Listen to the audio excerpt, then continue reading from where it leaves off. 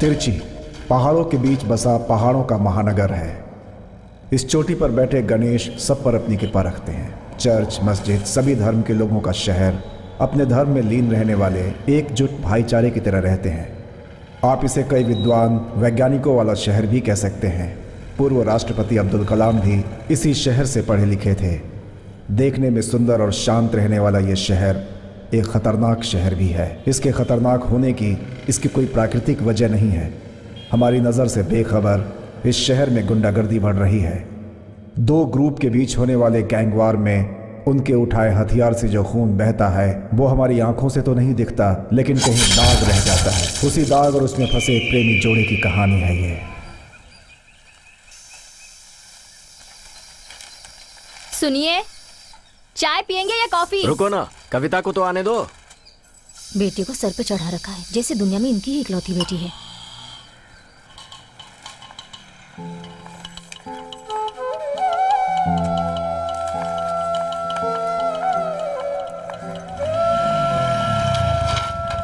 ए bus stop पे दस minute रुक नहीं सकती थी क्या? एक दस मिनट हो तो रुको। तुम्हारे दस मिनट खत्म होते हैं। अरे दोस्तों से बात कर रहा था। वो छोड़ते तभी तो आता। है तुम्हें जो भी बातें करनी है अंदर आकर करो। सड़क पर खड़े होकर बातें कर रहे हैं।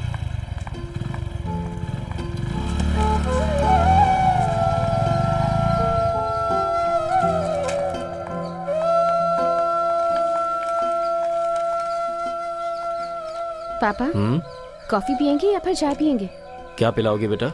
कॉफ़ी? हम्म।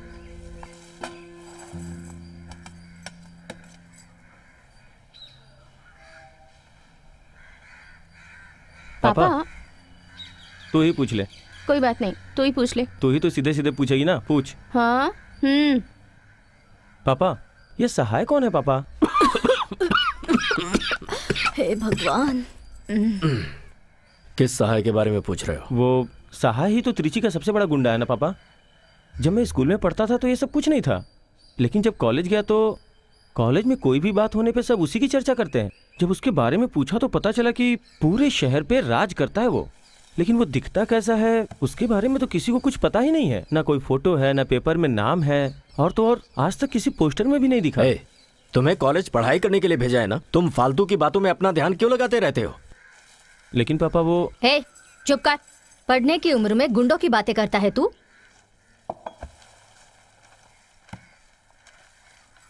किस तरह की बातें करता है? हाँ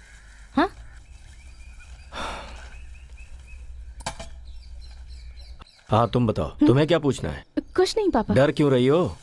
बोलो क्या बात है। वो पापा मैं भी सहाय के बारे में ही एक्चुअली अगर बॉयज़ कॉलेज है तो वहाँ गुंडों की बातें करना बिल्कुल नॉर्मल है। लेकिन हमारे कॉलेज में भी लड़कियाँ उसी के बारे में बात करती हैं।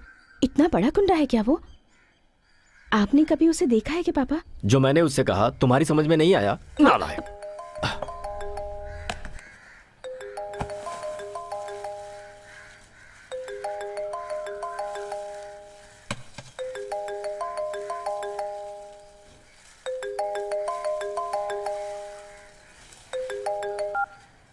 बोलिए मंत्री जी। अरे सहाय कहाँ हो तुम? मंत्री जी मैं घर पर हूँ। मेरा नाम लेकर मत पुकारिए। है तिरची में तुम्हारे नाम को लेकर क्या क्या चर्चा हो रही है पता है तुम्हें? और तुम कहते हो कि मंत्री जी दरअसल मैं अपना नाम बच्चों से छुपा कर उन्हें एक अच्छी परवरिश देना चाहता हूँ। अच्छी बात है सही कह रहे हो। अच्छा अभी काम क्या कर रहे हो तुम? कुछ खास नहीं बोलिए ना। एक ज़रूरी बात है सूर्यनगर में मेरी पुरानी फैक्ट्री पर आ सकते हो क्या? हाँ आ जाऊँगा। हाँ और एक बात तुम अकेले ही आना। बात थोड़ी पर्सनल है। आपने कह दिया मेरे लिए इतना काफ़ी है। अकेले ही आऊँगा। कविता हाँ पापा? जरा मेरी शर्ट लेकर आना। अगर तेरी माँ को बता दिया ना तो वो मुझे जाने नहीं देगी। हम्म, मेरे जाने के बाद उसे बता देना। हम्म, ठीक है पापा। जा रहा हूँ।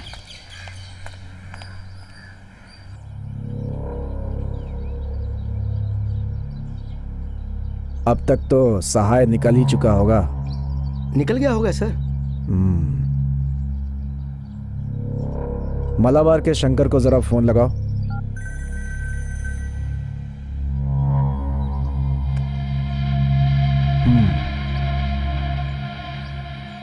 शंकर। मंत्री जी बोलिए। सहाय आधे घंटे के अंदर सूर्यनगर की पुरानी फैक्ट्री में पहुँच जाएगा। आजकल तिरची शहर में सिर्फ़ उसका ही राज चलता है। अगर तू चाहे तो कल से तू राज कर सकता है।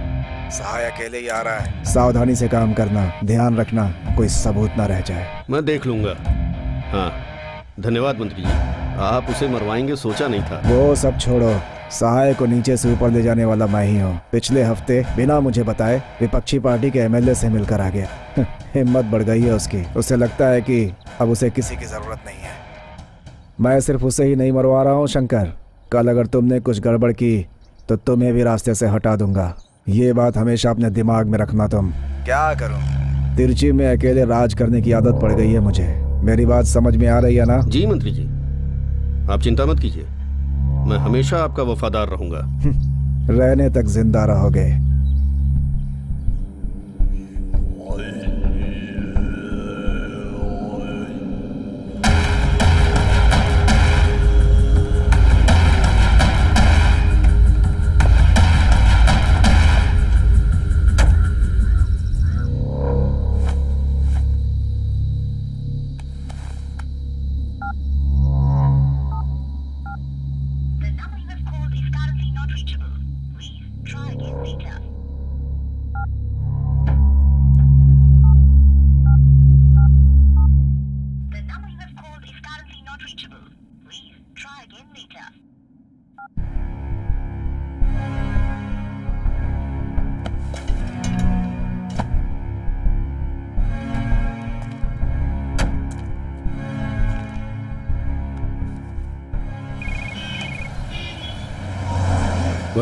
रवि कहाँ हो तुम? चेयरमैन शेर खान के पास हूँ। ओह ठीक है ठीक है।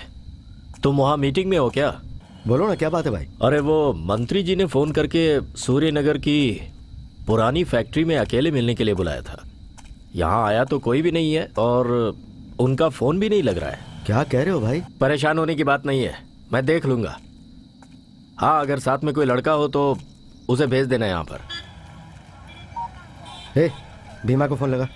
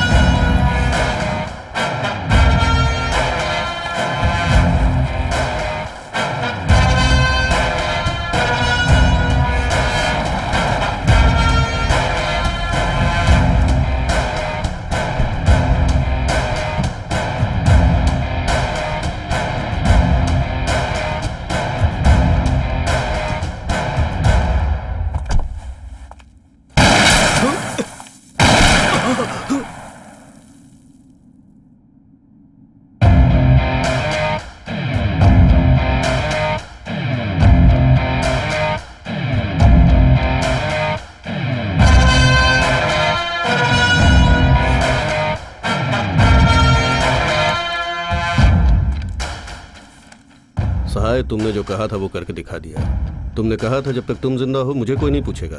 सच बात है। तुम्हारे जीते जी मैं अब तक कुछ नहीं कर सका। हफ़्ता वसूली से लेकर रियल एस्टेट के सारे फैसले तेरी जेब में थे। और यहाँ पर?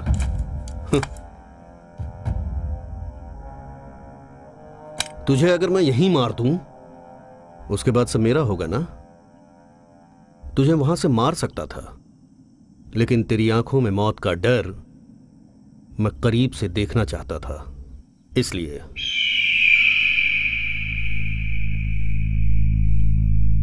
अभी भी तुझे डर नहीं लग रहा? मैं तेरे सामने खड़ा हूँ, शंकर।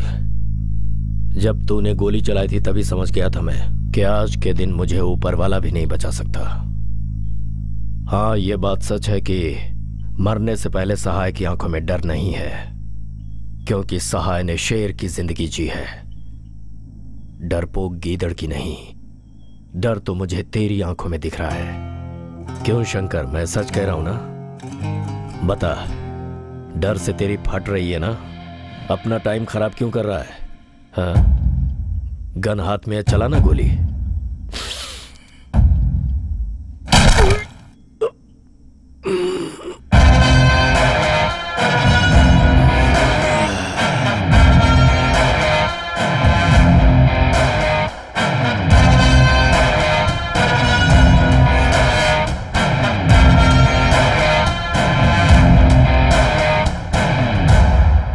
हे, अरे ये देखो सहाय मरने के बाद भी खड़ा है।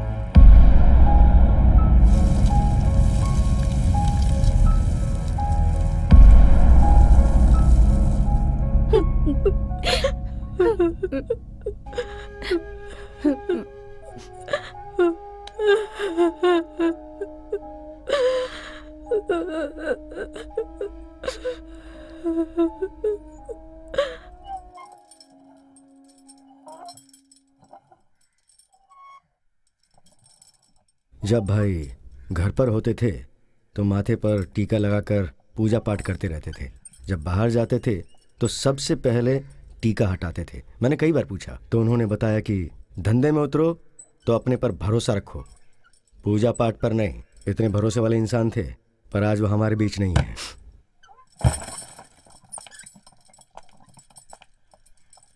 सब कुछ अचानक हो गया भाई। देखा? वक्त कैसे बदलता है?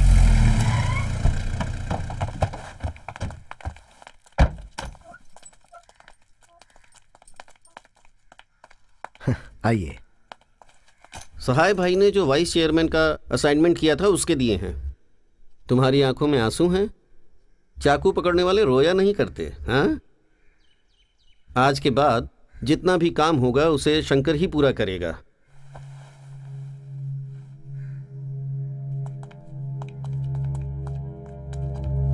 तुम लोग मुझे गलत मत समझो। ये फैसला मेरा नहीं है आवाज़ सिर्फ़ मेरी है। मैंने जो सुना वही कहा। फैसला वाइस चेयरमैन का है। समझ गए?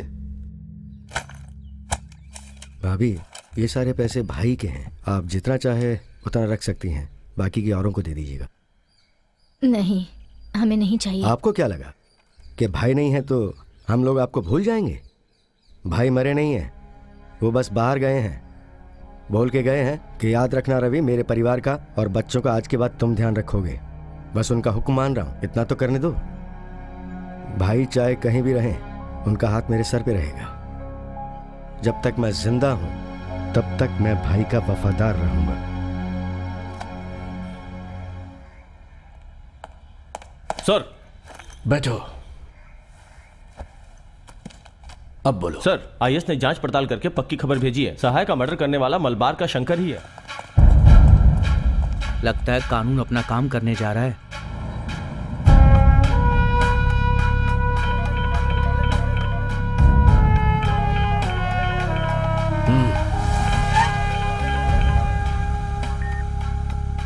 कहाँ पर हो विजय? उस गुंडे सहाय की मौत का क्लू मिला है सर। उसी से रिलेटेड एक को अरेस्ट करने जा रहा हूँ। इसीलिए मैंने तुम्हें फ़ोन किया है। इस केस को इतना डीपली मत लो तुम। ये क्या कह रहे हैं सर आप? इस वक्त पूरा शहर इस मर्डर की बात कर रहा है। अगर हमने ढील दे दी तो पब्लिक क्या सोचेगी? तुम उसे अरेस्ट करोगे तो पुलिस की वाहवाही होगी। क्या विजय? समझे नहीं क्या? ऊपर से ऑर्डर हैं। समझा करो ये सब। मरने वाला कोई स्वतंत्रता सेनानी तो था नहीं गुंडा ही था ना? हम उसे मारते। इससे पहले ही वो आपस में एक दूसरे को मारकर मर गए। चुपचाप बैठकर सिर्फ़ तमाशा देखो।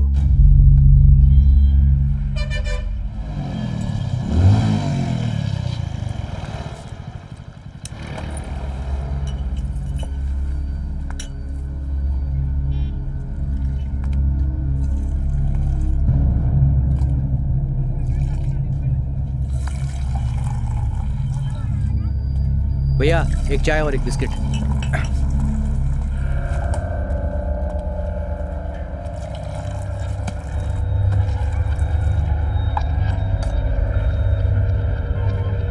भीमा, तू और मैं बचपन के दोस्त हैं। हमने तीन साल पहले तय किया था, इस शहर पर तू राज करेगा या मैं राज करूँगा।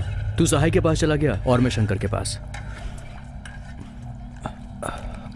कल तक यहाँ का राजा सहाय था, अब उसकी जगह यहाँ पर शंकर का राज चलता है। लेकिन शंकर ज़्यादा दिन जीने वाला नहीं है, क्योंकि बहुत जल्द रवि उस शंकर का खात्मा करने वाला है। शंकर के बाद गैंग का राजा मैं बनूँगा। मौका देखकर तू उस रवि का खात्मा कर दे। शंकर के मरने के बाद ये गैंग मेरी हो जाएगी। तू किसी तरह एक बार सही मौका देखकर इस रवि को अपने रास्ते से हटा दे।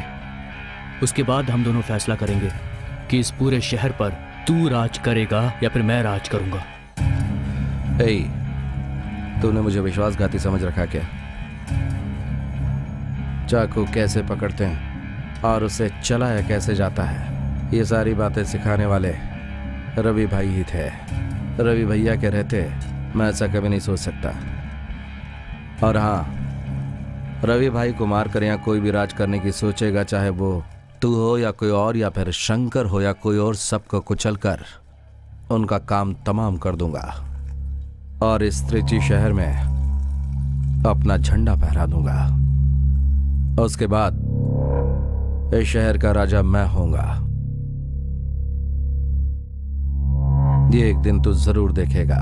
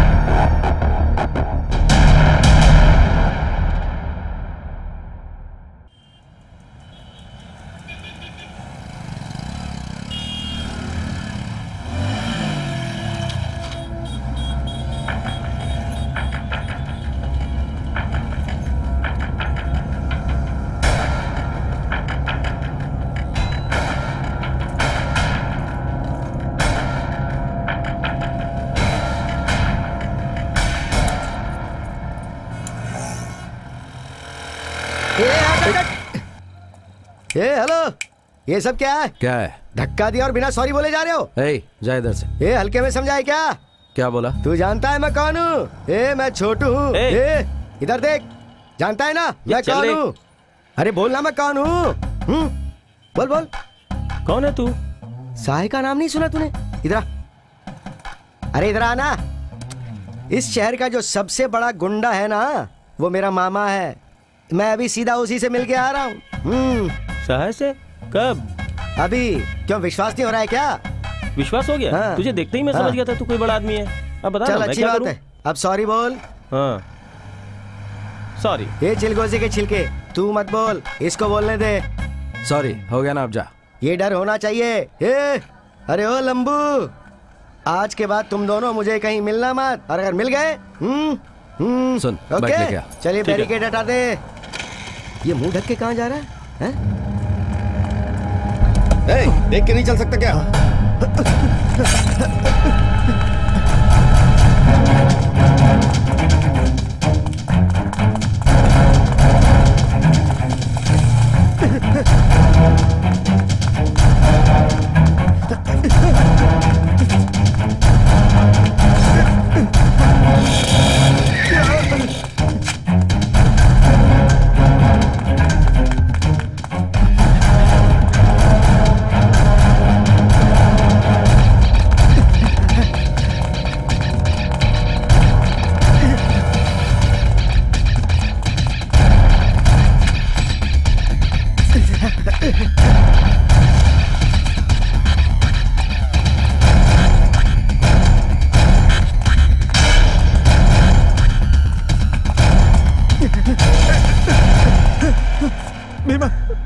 दो भीमा, मुझे छोड़ दो।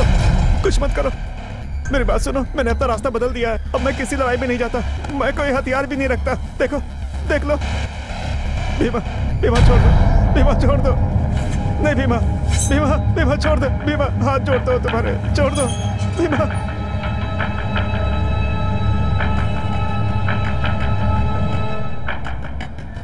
नहीं, भीमा, मुझे माफ़ कर दो, भीमा। नहीं, भीमा, मुझे माफ़ कर दो। भीमा, नहीं। नहीं भीमा भीमा भीमा भीमा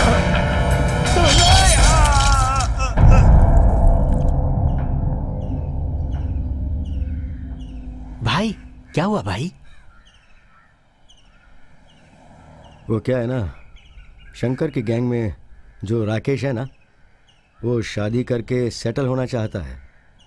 कल वो एक बार में बैठा था और बोल रहा था कि वो अप्रूवल बन जाएगा। शहर में हमने क्या क्या कहाँ किया है ये सब उसको पता है उसने उगल दिया तो गड़बड़ हो जाएगी।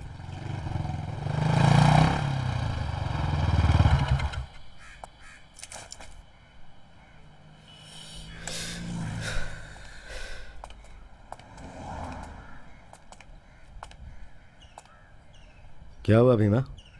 ये छोड़ो भाई आप क्यों परेशान हैं? एक्चुअली वो राकेश ने सब कुछ उगल दिया है। ये शंकर का ही काम होगा। उसका ज़िंदा रहना अब हमारे लिए सही नहीं है। और वो मिनिस्टर भी शंकर की तरफ़ है और अब वो कुछ भी कर सकता है। इसलिए उसे मारना ज़रूरी है।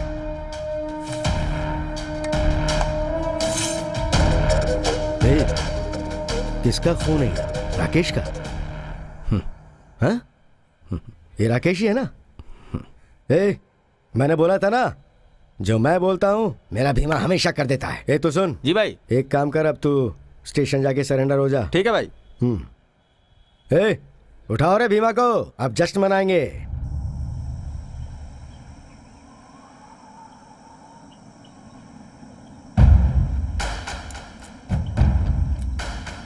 शहर हमारे कंट्रोल में होने के बाद भी हमारे आदमी को मारा गया। सहाय के बिना इतना उछल रहा है वो। उस भीमा को ज़िंदा नहीं छोड़ना चाहिए। भाई जब पता है वही है तो मंत्री से कहकर अरेस्ट क्यों नहीं करवा देते? जा बे। मिनिस्टर से मैं नहीं बोल सकता क्या? पुलिस से बोलकर उसे अरेस्ट करवाकर और फिर उसे सरकारी गवाह बनाकर हम सबको मरवा डालेगा। बात करता है। हमारे बीच जो गैंगवार हो रही है डिपार्टमेंट को पता है। हम सब आपस में लड़कर मरे इसलिए वो आँख बंद करके बैठे हुए हैं। उससे हमें फ़ायदा ही है। भीमा ही इस सब का कारण है। अगर उसे मार दिया तो सब चुप बैठ जाएँगे। ओए इधर आ। जी भाई। उस भीमा पर खांचा बिठाओ।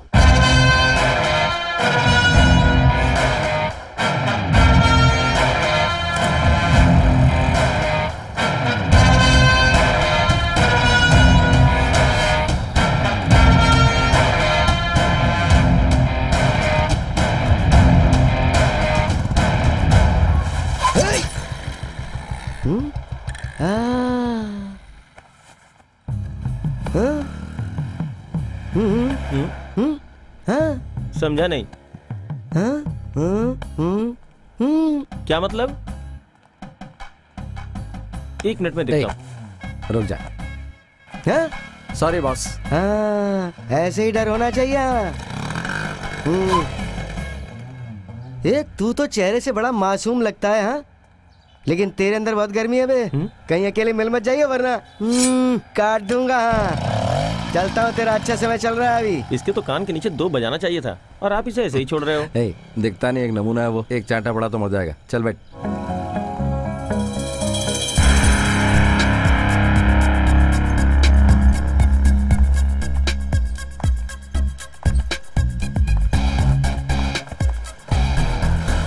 ए जा।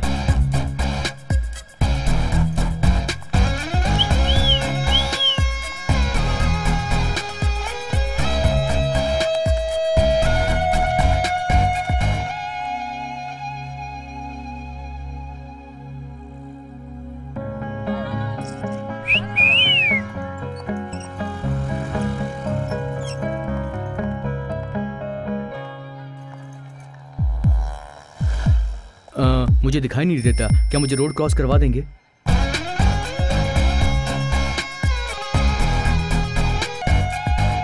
मंडे को एक ट्यूसडे को दूसरा। वेंसडे थर्सडे फ्राइडे रोज एक एक करके पीछा करते हैं। सैटरडे संडे को छोड़कर रोज मुझे फॉलो करते हैं। मुझे पता है कि इन सब के पीछे किसका हाथ है माँ। बहुत बड़ा बदमाश है वो। ए फॉलो करने वाले पाँच लोग हैं। जो पीछा नहीं करता उस पर क्यों गुस्सा कर रही हम्म, है? ये तो उन सबका बॉस लगता है। किसी दिन वो मेरे पीछे आया ना तो उसे उसी वक्त मैं जान से मार डालूँगी और खुद जेल चली जाऊँगी। इसमें हंसने वाली कौन सी बात है? तुझे ना बेटा बनकर ही पैदा होना चाहिए था। गलती से तू लड़की और तेरा भाई लड़का पैदा हुए। हम्म। ए तेरी प्रॉब्लम क्या है? अगर वो फिर से तेरे पीछे आए ना तो तू मुझे कॉल करना मैं देख लूँगी। हाँ हाँ। वो मेरा पीछा करेंगे मैं तुम्हें कॉल करूँगी तब तक वो मेरी शक्ल देखते रहेंगे। अरे चाहिए तो एक एम्प्टी मैसेज कर देना। मैं समझ जाऊँगी। अब हंस भी दे।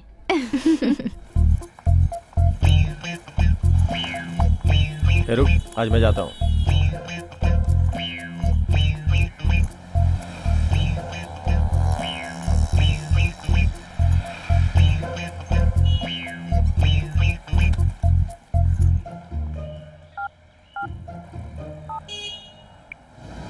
पिछली बार भी बोला था मैंने उसे।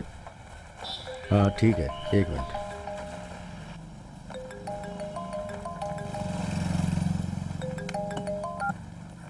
हाँ बोलिए भाभी। भैया आप कहाँ पर हैं? शहर में हैं या बाहर हैं? शहर में ही हो। बोलिए ना भाभी।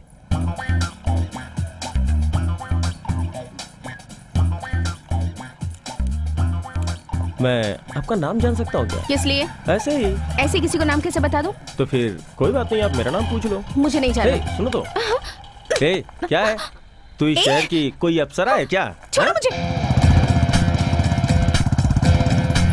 नाम बताने में तू घट जाएगी क्या ऐसे देख रही जैसे इस शहर में तू ही अकेली लड़की है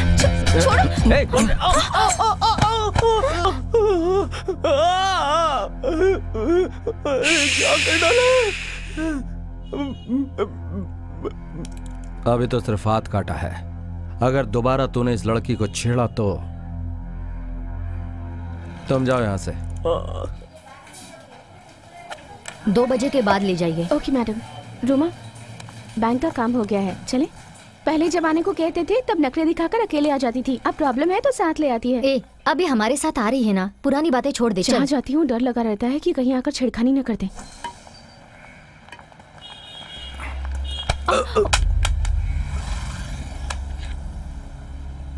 सॉरी हाँ? सॉरी मैंने भी नहीं देखा। ठीक है ठीक है कोई बात नहीं जाने दीजिए।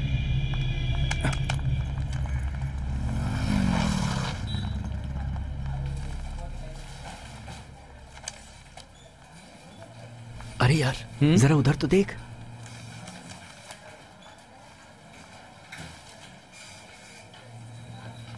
अच्छी लग रही है ना? अच्छी लग रही है तो क्या करेगा तू? ज़्यादा मत घूरा कर। अब देख मैं क्या करता हूँ। ए नए शहर में कोई हरकत मत दिखाना समझा? हम अपने गाँव से यहाँ डॉक्टर बनने आए हैं। अच्छा। पता लगा पेपर में फ़ोटो छप गई। अरे ऐसा कुछ नहीं हो गया यार तू रुक ना। ए,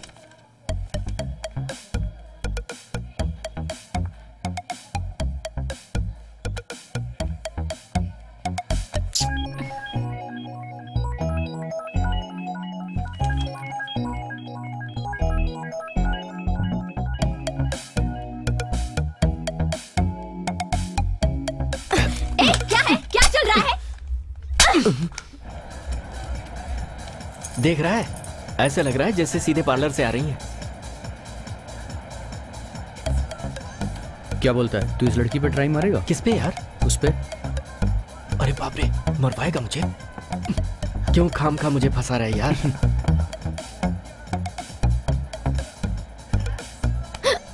ए यहाँ। क्या है? ये सबको मारती ही रहती है क्या?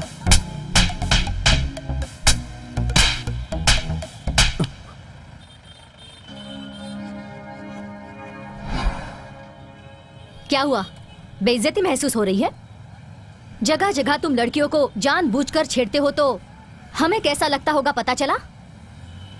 गलती से धक्का लग गया और इसने मुझे फालतू में थप्पड़ मार दिया।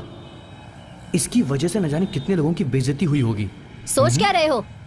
इसको तो सबक सिखाना पड़ेगा। लड़कियों को तुमने खिलौना समझाया?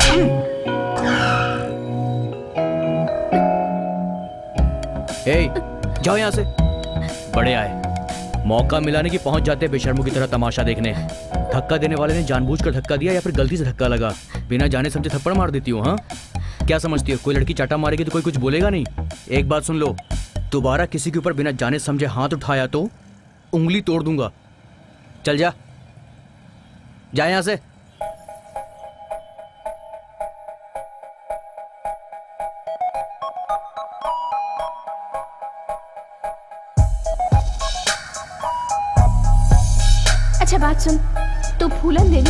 किसी पर भी हाथ उठा देती है। कोई आदमी कौन है कैसा है ये तो जानना चाहिए। तुझे तो इन सब बातों से कोई फ़र्क ही नहीं पड़ता। जो लड़का किसी दिन पलट कर तुझे जवाब दे देगा मुझे तो लगता है वही तेरे लिए परफेक्ट मैच होगा।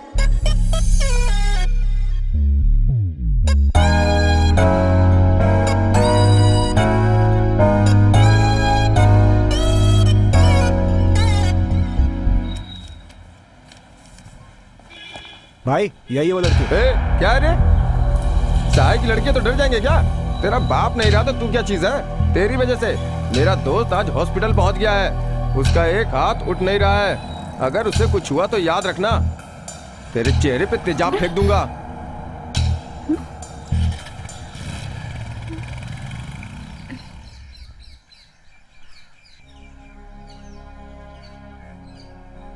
आप गलत मत समझिए।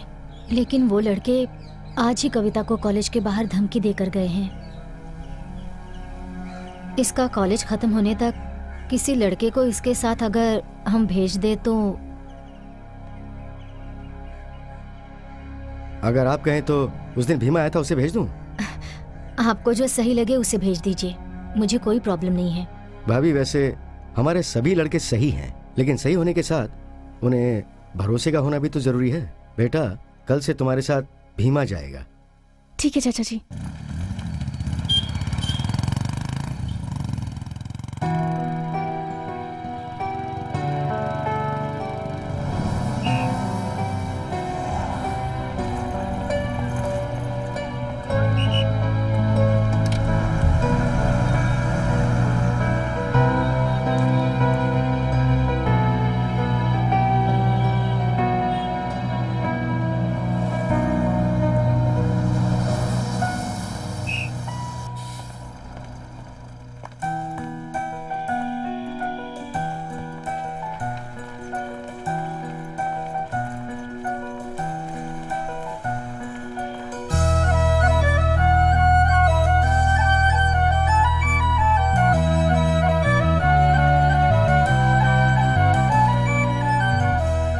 यार भीमा। यार हम लोग पूरा दिन कॉलेज के बाहर ही खड़े रहते हैं। वो लड़की तो अभी कॉलेज के अंदर ही है ना। हम अभी चले जाते हैं शाम को फिर आ जाएँगे। सुन कॉलेज के पास आके धमकी देखे गए हैं। ऐसा भी हो सकता है कि वो कॉलेज के अंदर भी आ जाए। जो भी करो पूरा करो।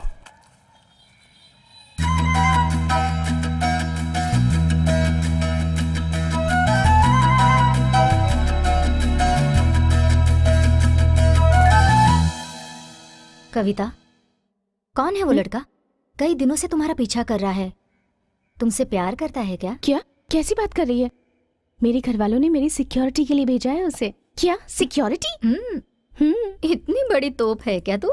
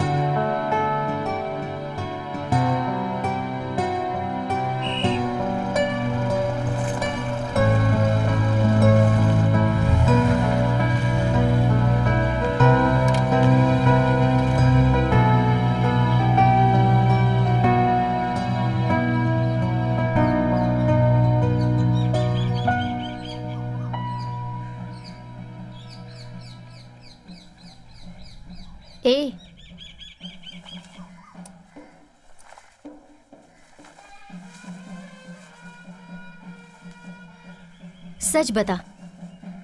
तू उससे प्यार करती है ना? ए चुप कर। बेकार की बातें क्यों कर रही है? इधर देख। एक लड़की क्या सोचती है ये भला कोई लड़का ना समझे लेकिन एक लड़की अच्छी तरह से जान जाती है। चल सच बता। ऐसा कुछ भी नहीं है। एक्चुअली दो तीन महीनों से उसे लगातार देख रही हूँ ना। इसलिए जब उसे नहीं देखती हूँ तो अजीब सा लगता है। इसी को प्यार कहते हैं। वो सब मैं नहीं जानती। मैं उसे देखते रहना चाहती हूँ और कुछ नहीं।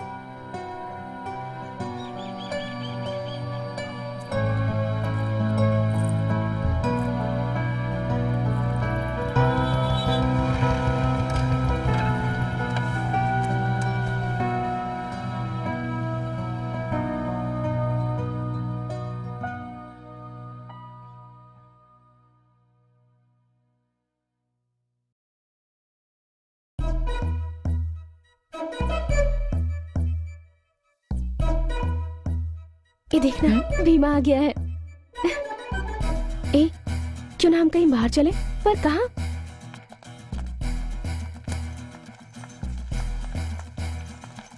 ये ले मैं जा रहा हूँ फ़ोन करूँ तो बाइक लेके आ जाना।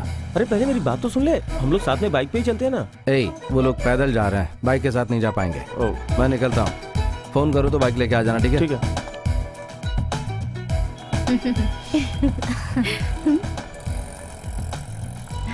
पीछे बिल्कुल मत देख। हम्म? मना किया था ना पीछे मत देख।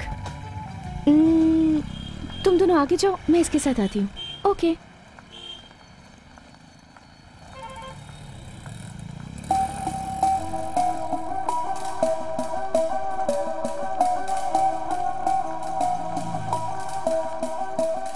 तू रुक क्यों गई? एक मिनट सुनो। हाँ तुम्हें ही बुला रही हूँ। तुझ में तो बहुत गट्स है यार। बोलना तो है ही तो फिर लेट क्यों करना? तुझे मैं आती हूँ। क्या मुझे कुछ ना हो इसीलिए मेरे साथ साथ रहते हो ना तुम? हाँ। तो फिर इतने दूर क्यों? साथ चल सकते हो ना? नहीं आपके कॉलेज तक जाने के लिए बोला है मुझे। आपके साथ नहीं। ओहो तो अब मैं बोल रही हूँ मेरे साथ चलो। नहीं मैं नहीं आ सकता। क्यों? डर लगता है। किस बात का डर? मैंने सोचा साथ चलने से कहीं प्यार ना हो जाए इसीलिए डर रहे होंगे।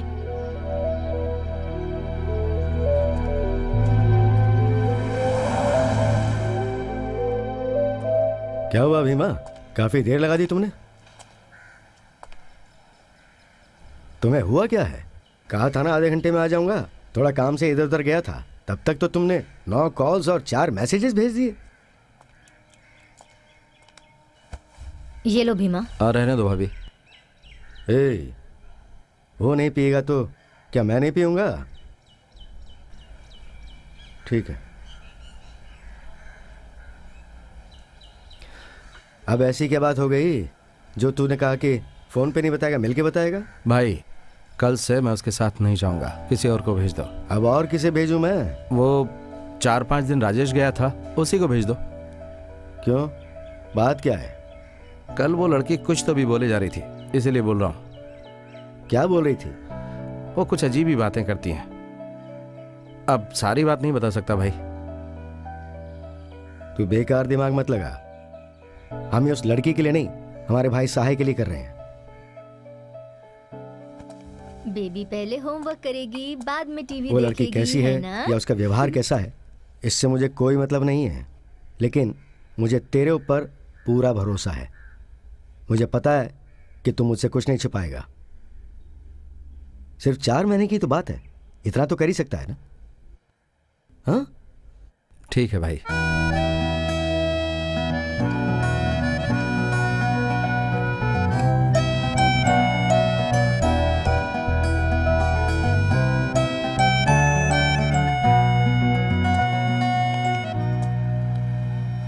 हेलो? हम्म? क्या भीमा? देखकर भी अनदेखा क्यों कर रहे हो? क्या चाहिए तुम्हें? मुझे कुछ नहीं चाहिए। सिर्फ़ हंसू तो जवाब में हंस देना इतना काफ़ी है। मुझे इसकी आदत नहीं है। तो आदत डाल लो। हंसना कोई बड़ा काम थोड़ी है। समझा करो। कुछ भी मत बोलो। जाओ यहाँ से। तुम जो कहोगे वो मैं समझू। पर मैं जो कहूँगी वो तुम समझना नहीं चाहते। क्या समझना है? क्यों? अभी तक समझे नहीं। समझ रहा हूँ। तुम जैसा सोच रही हो ये प्यार व्यार ये मेरा काम नहीं है। क्यों? क्यों? अरे तुम्हारी सुरक्षा के लिए मैं आ रहा हूँ। मुझे प्यारा सा छोटा बच्चा मत समझो। जरा जाओ और जाकर त्रिची के किसी भी डिस्ट्रिक्ट पुलिस स्टेशन में मेरा नाम पूछो। उन्होंने सामने भले ही न देखा हो। सिपाही से लेकर इंस्पेक्टर तक जब मेरा नाम सुनता है तो हिल जाता है। मंत्री का पीए विपक्ष का नेता और अधिकारी तक जैसे ही मुझे देखते हैं तो खड़े हो जाते हैं। कॉलेज के लड़कों से लेकर दुकान पे काम करने वालों तक भीमा का नाम गर्व से लेते हैं। पूरे शहर के आधे से ज़्यादा गुंडे भीमा के नाम से कांपने लगते हैं।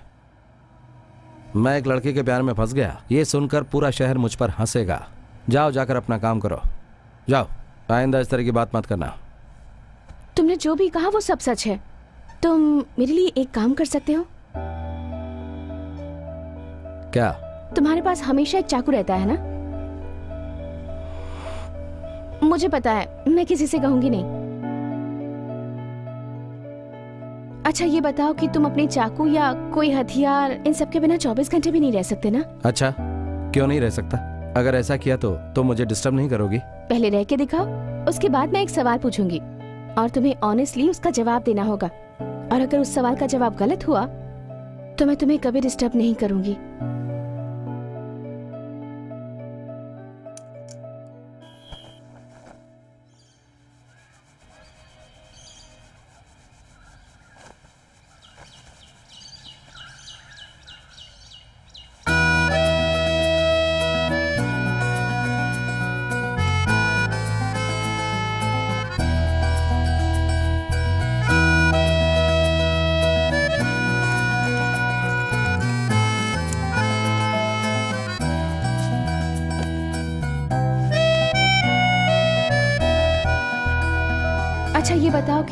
चाकू या कोई हथियार, इन सब के बिना 24 घंटे भी नहीं रह सकते ना?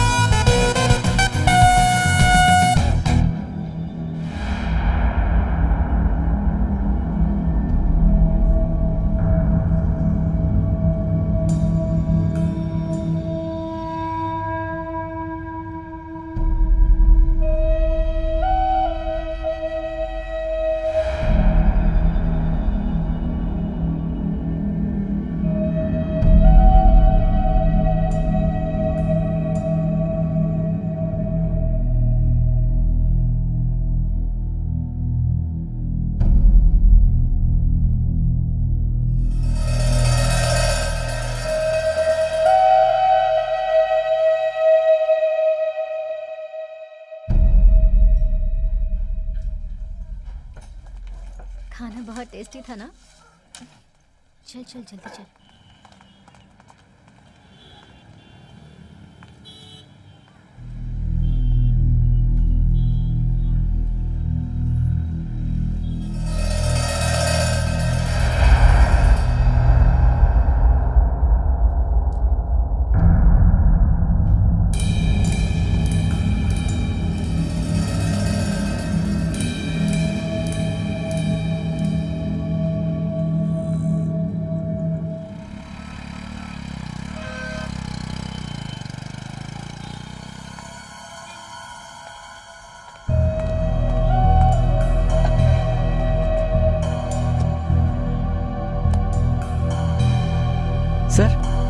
एक चाय लेके आओ।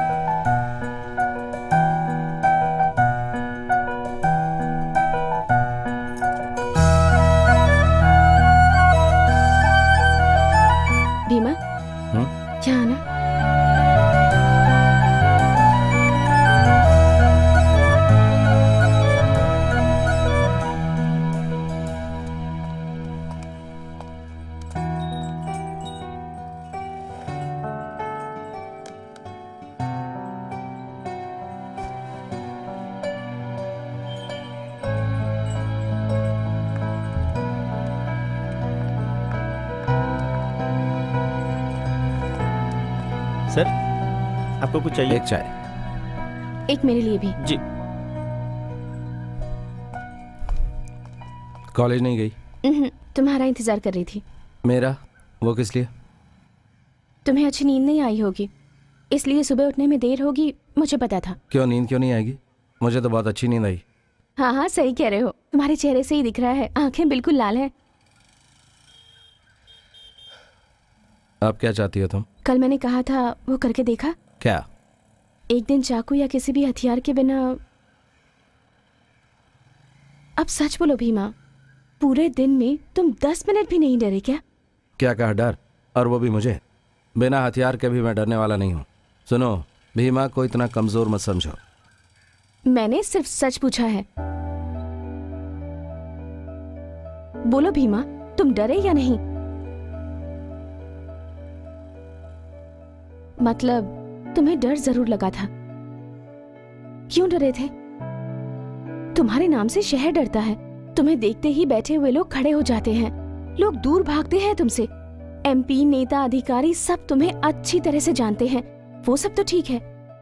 इतने बड़े आदमी होकर एक मिनट के लिए क्यों डरे तुम?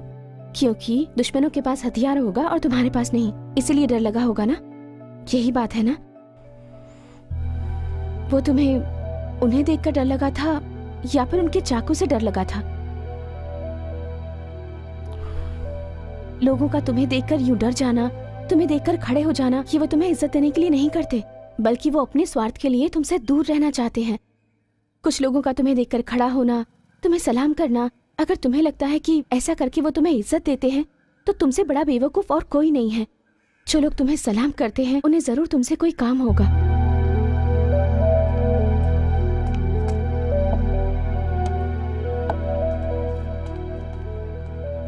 जो लोग तुम्हें सलाम करते हैं, वो तुम्हारे पास सिर्फ़ और सिर्फ़ अपना काम निकालने के लिए आते हैं, भीमा।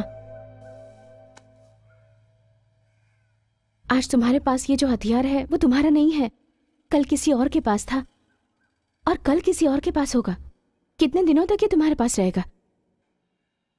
जिस दिन हाथों में चाकू पकड़ने की ताकत खत्म हो जाएगी, उस दिन ये चाकू किसी और के पास चला जाएगा।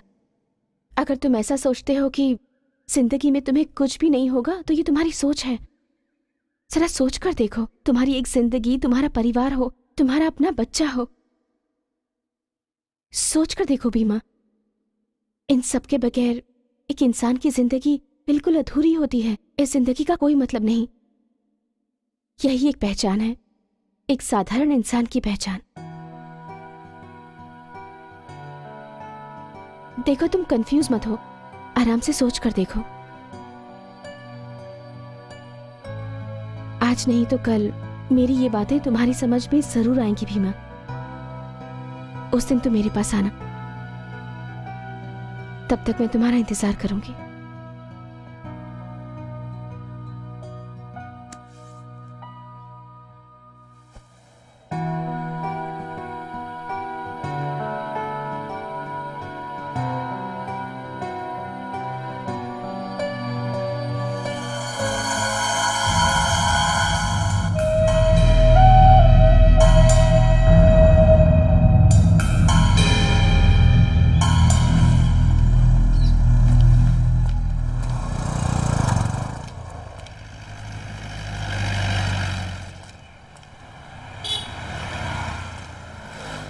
हो गया।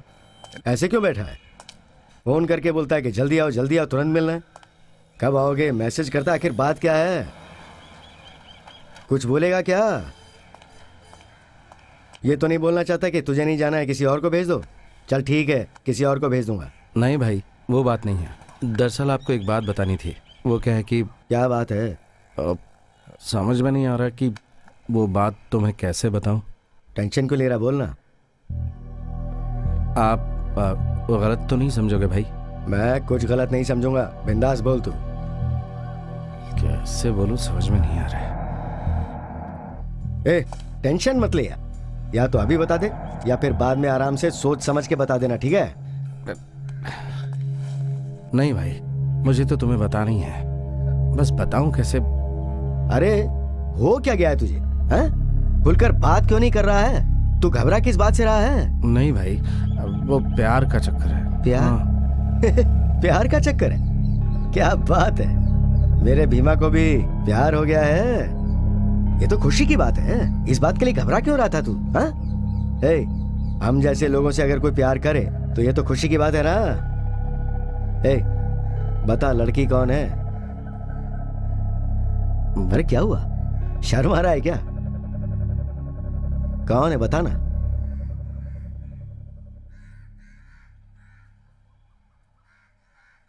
भीमा कौन है बोल? आपको उसका नाम कैसे बताऊँ भाई?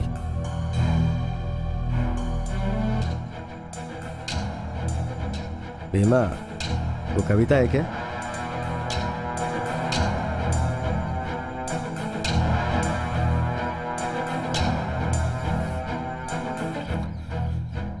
हे वो सहाय भाई की बेटी है।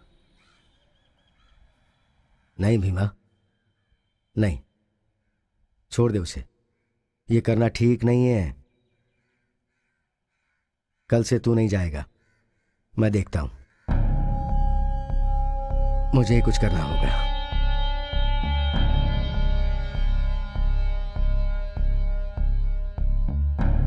ए, ऐसे करना विश्वासघात होगा। छोड़ दे उसे। ये ये पाप होगा भीमा। ऊपर से वो भी तो हमें देख रहा है। मेरी बात मान। उसे छोड़ दे भीमा। ए, अगर कोई मेरी बहन या शादी लायक बेटी होती ना तो उसकी शादी मैं पक्का तुझसे ही करवा देता। वो भी बिना सोचे समझे क्योंकि मैं तुझे जानता हूँ। लेकिन ये लड़की? नहीं बिल्कुल नहीं। ये लड़की नहीं। अगर भाभी रोते हुए मेरे पास आई और बोला कि रवि तेरे लड़के ने ऐसा कर दिया तो भीमा?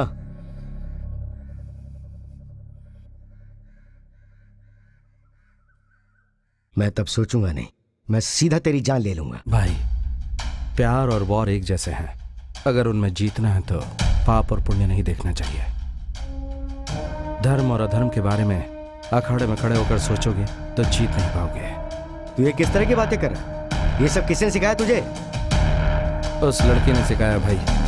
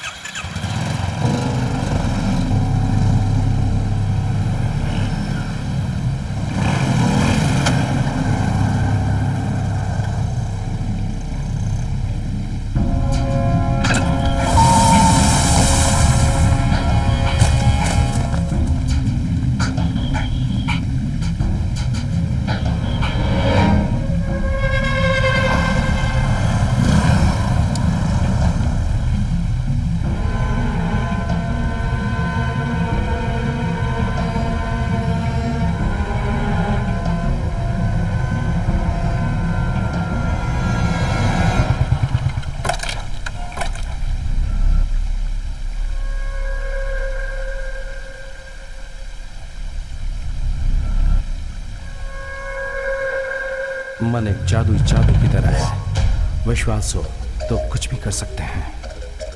जब तक जान हमारे शरीर से पूरी तरह ना चली जाए, हमें खुद को मरा हुआ नहीं समझना चाहिए।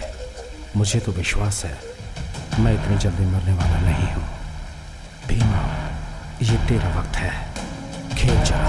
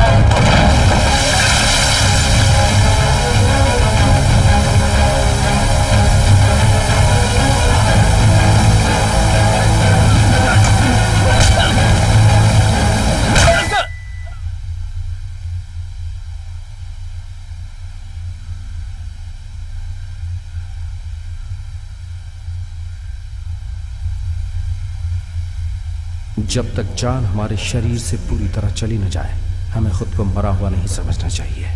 ए, एक दो से।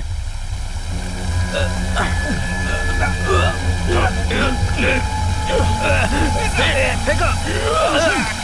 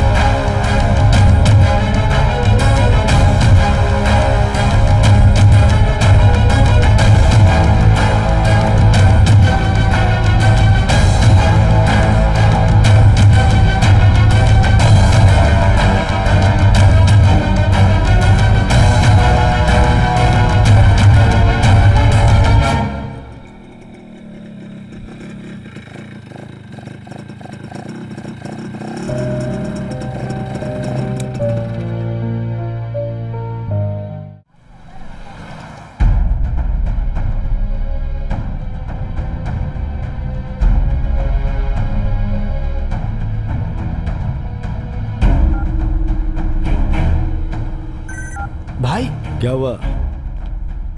पुलिस अभी भी अंदर ही है।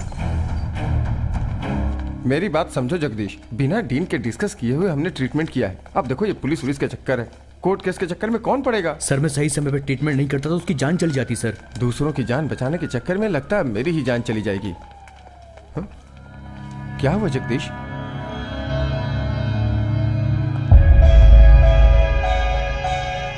सर डॉक्टर्स लोगों की जान बचाने के लिए होते हैं, उन्हें मारने के लिए नहीं।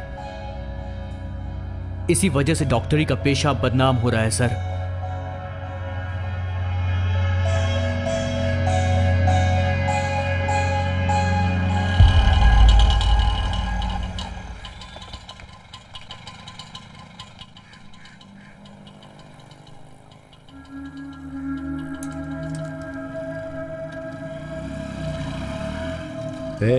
भाई वो लड़की भीमा से नहीं मिलनी चाहिए। सुनो इसे किसने मारा है वो अच्छी तरह जानता है। ऐसे नाटक कर रहा है जैसे कुछ नहीं जानता है। ये हमें दस रुपए भी नहीं कमाने देते यार। बहुत बिल्कुल सही कहा सर आपने। चलिए चल के रास्ता में चाय पीते हैं। ये सुधरने वाले नहीं है। आप जाकर मिल लीजिए। भीमा?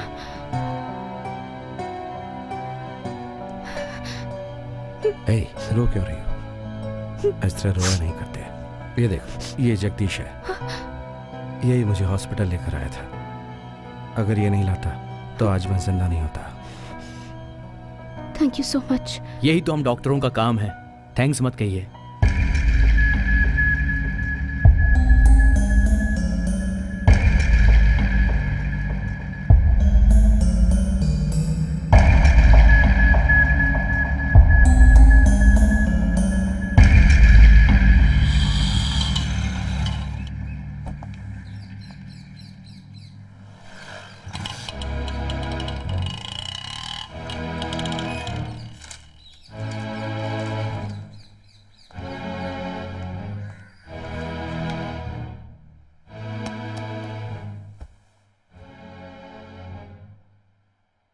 आज तो कॉलेज नहीं गई थी।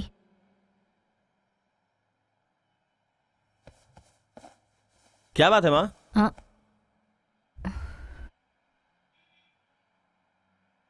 कविता तुझसे पूछ रही हूँ नहीं गई थी? नहीं गई। फिर कहाँ गई थी? हॉस्पिटल गई थी। किस लिए? भीमा को देखने। कौन भीमा?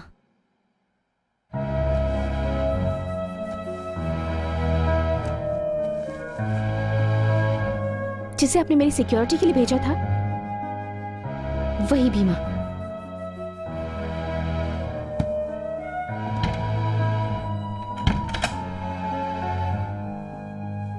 कविता कविता हॉस्पिटल में जाने की क्या ज़रूरत थी? तुम्हारे उसके बीच में क्या है? हम बने तुम बने के दूजे के लिए हम बने बने। हम बने तुम बने के दूजे के लिए।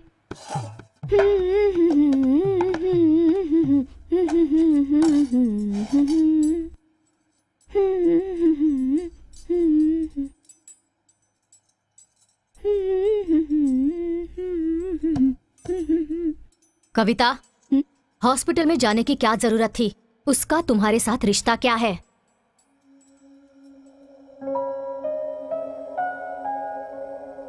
कविता।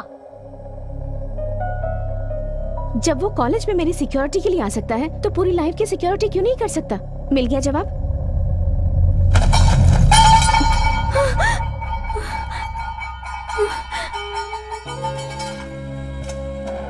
अब आप चाहे जो कुछ भी कीजिए मैं उसी से प्यार करती हूँ और यही सच्चाई है। क्यों छोड़ दिया माँ? दो थप्पड़ लगाना चाहिए था उसे। जब उसने मुझे गुस्से से देखा तो लगा कि तेरे पापा ही देख रहे हैं। इसलिए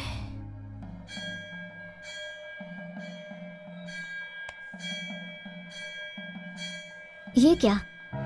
वहाँ बदतमीजी से बात करके यहाँ आकर तू रो रही है? तू जो कुछ भी कह रही है ठीक है। पर क्या करूँ? अगर प्यार से कहती तो क्या माँ मान जाती?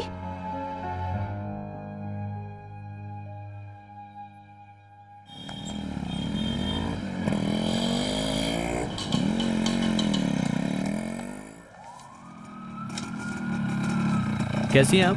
भीमा के लिए घर से खाना लाई हैं? हाँ घर से दाल चावल लाई हूँ। अभी मिलकर आया हूँ। तबीयत नॉर्मल है। आप देखना जल्द ही वो पहले की तरह बिल्कुल अच्छे हो जाएँगे। आप जाकर मिल लीजिए। ठीक है मैं चलती हूँ।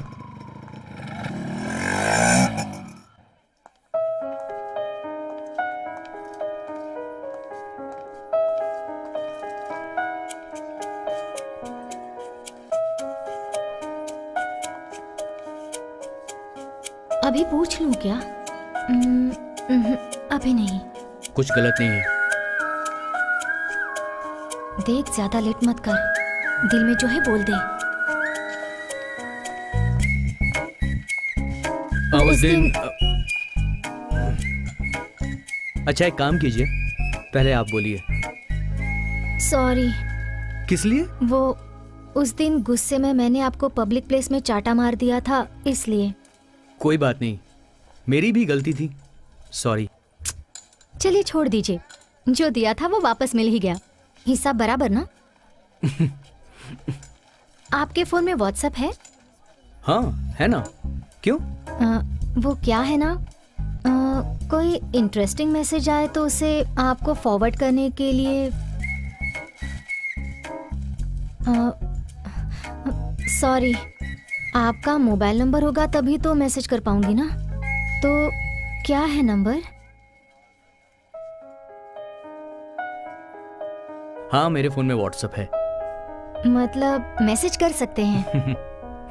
हम्म।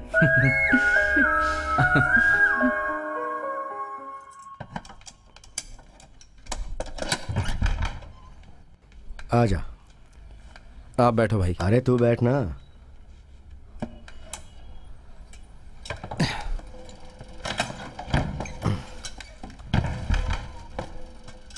अब कैसी तबीयत है? सही है। एक हफ़्ते में ठीक हो जाऊँगा। ए तुम लोग जरा बाहर जाओ।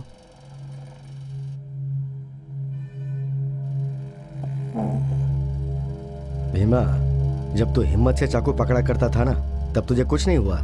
लेकिन प्यार में पड़ने के बाद देख तेरा क्या हाल हो गया। चाकू से खेलने वाले को चाकू ने घायल कर दिया। हम लोग जिस दिन चाकू छोड़ने की सोचते हैं ना हम धीरे धीरे अपनी ही मौत के करीब आ जाते हैं। इसलिए छोड़ना मत। चाकू दोनों तरह से नुकसान पहुंचाता है। वो मारने वाले को भी मारता है और छोड़ने वाले को भी। तो जिस दिन छोड़ दिया, उस दिन मौत तय है। बात को समझ भीमा, हम जिस रास्ते पर है ना, वहाँ से वापस लौटना हमारे लिए मुश्किल है। सुधरने की कोशिश मत कर, वरना मारा जाएगा।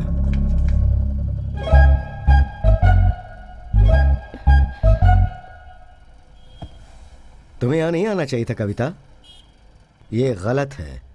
तुम्हारी माँ को मैं क्या जवाब दूँगा? तुम जाओ यहाँ से। चाचा जी मैं थोड़ी देर बात करके चली जाऊँगी। कोई ज़रूरत नहीं है। जाओ यहाँ से।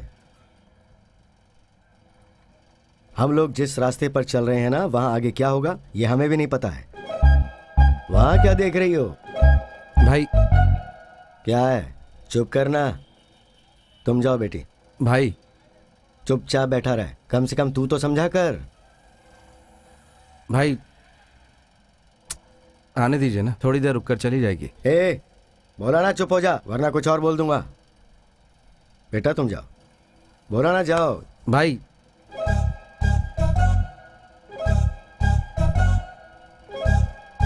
आप जाइए ना भाई। ए। ये थोड़ी देर यहाँ रुक कर चली जाएगी।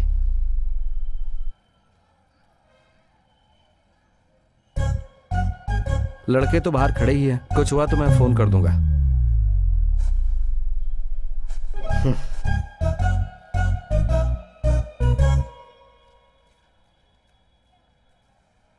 आने से पहले एक फ़ोन नहीं कर सकती थी। क्यों? बिना फ़ोन की नहीं आ सकती?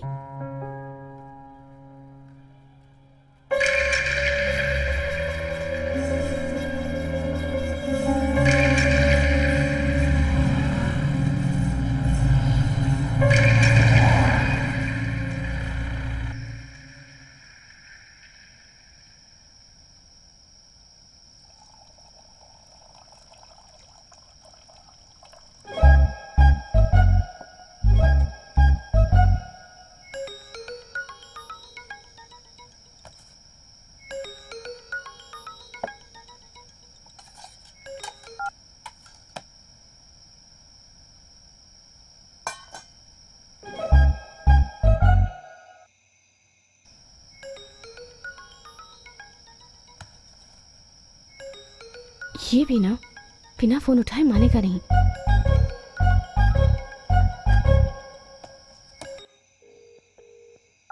हेलो कविता। बोलो भीमा। कहाँ हो? घर पर ही हूँ। ओ। तुमने खाना खा लिया? ए, खा तेरी इतनी हिम्मत? मेरे सामने तुझसे फ़ोन पे बात कर रही है हाँ? हाँ? क्या पापा नहीं है तो क्या हुआ? घर में तुझसे पूछने वाला कोई और नहीं है क्या? हाँ? उससे बात की ना? और अगर तुझे कहीं मैंने देख लिया। तो तू सोच। पहले उसे मारूँगा फिर तुझे भी जान से मारूँगा छोड़ो मुझे क्या कर रहे हो? करेगी बात? हाँ? बोल करेगी मुझसे। बात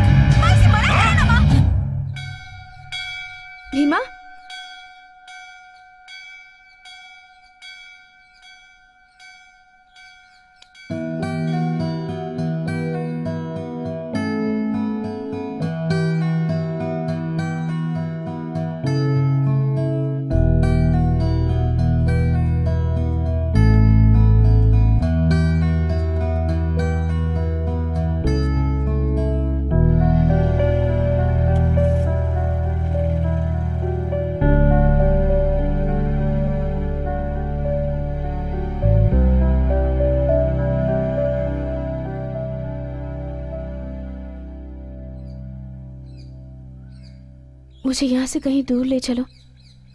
कहीं भी, जहाँ सिर्फ़ हम दोनों हो हुँ? नहीं समझे? भाग चलने को कह रही हूँ।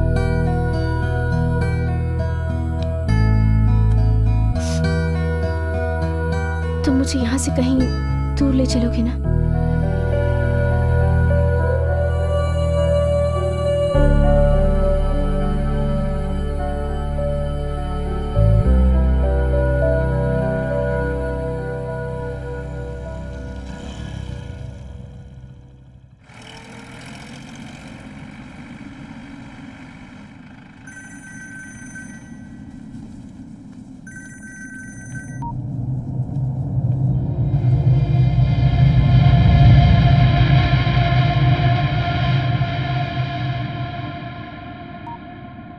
शंकर भाई ये काम मुझ पर छोड़ दो ना मैं देख लूँगा।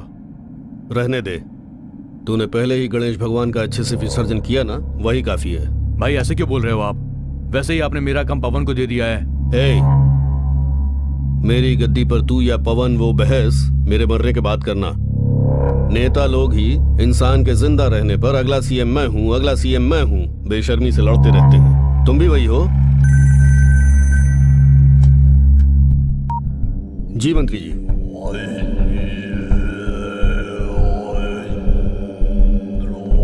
क्या शंकर, लगता है काम आधे में ही छोड़ दिया? तुम दोनों की आपस की बात है, इसलिए मैं बीच में नहीं आया। याद रखना, इस तरह की गलती तुम्हारे लिए खतरनाक हो सकती है। हर तरफ़ उसका ही नाम आ रहा है आजकल। शहर में बिना मेरे इशारे के कोई नहीं उठ सकता। उस लड़के का नाम बहुत ऊपर उठने लगा है। अगर वो लड़का राजा बन गया मेरी छोड़ो। किसी की भी बात नहीं सुनने वाला है वो। सांप को पहले ही कुचल दो। वरना याद रखना अगर उसने डस लिया ना तो सभी मारे जाओगे। हम्म, समझ गया ना? शंकर भाई एक बार मौका दो ना। मैं निराश नहीं करूँगा।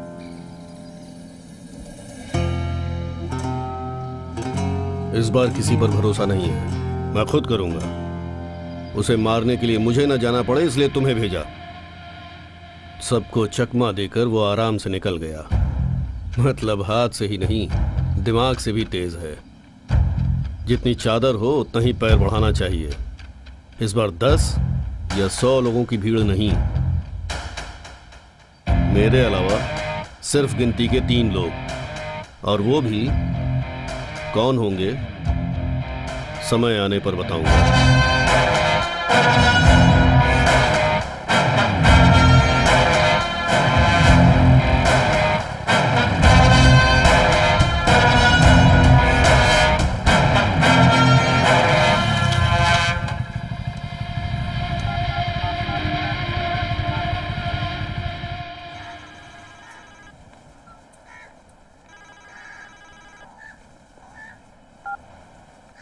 देख यार मुझे गलत मत समझ। पिछली बार तुझे मारने का प्लान मुझे आखिरी मोमेंट पे मालूम चला था यार। सब लोग मेरे साथ थे इसलिए तुझे मैं इन्फॉर्म नहीं कर पाया। इस बार शंकर फिर मारने का प्लान बना रहा है। वो बोल रहा है कि खुद मारेगा। खाली इतना ही नहीं शंकर के साथ मिनिस्टर भी मिला हुआ है। मिनिस्टर और मेरे बीच कोई पंगा नहीं है। तो वो टांग क्यों उड़ा रहा बीच में? तेरे आगे पीछे कोई नहीं है भीमा। मामले को समझ। मैटर उतना सीधा नहीं जितना तुझे लग रहा है। शंकर तुझे ज़िंदा नहीं छोड़ेगा। पक्का कसाई है वो। भीमा शंकर से दूर रहना तेरे लिए अच्छा है। मैं जानता हूँ तू मेरी बात कभी नहीं मानेगा। फिर भी तुझे बोल रहा हूँ। देख यहाँ मेरा कोई कुछ नहीं बिगाड़ सकता। तू मेरी बात मान ले। सब कुछ भूल कर अंडरग्राउंड हो जा। शान चली जाए तो कोई बात नहीं। मगर जान चली जाए तो तू कुछ नहीं कर पाएगा। बाकी तू खुद समझदार है। बाद में तुझे मैं इन्फॉर्म कर पाऊँगा या नहीं मैं नहीं जानता। किसी भी वक्त कुछ भी हो सकता है। होशियार रहना।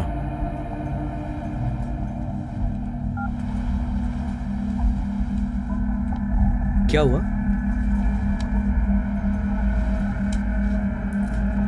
तू चुप है लेकिन मुझे दिखाई दे रहा है। कुछ गड़बड़ है ना? चिंता मत करो भीमा। दिमाग से चलोगे तो हर काम में जीतोगे।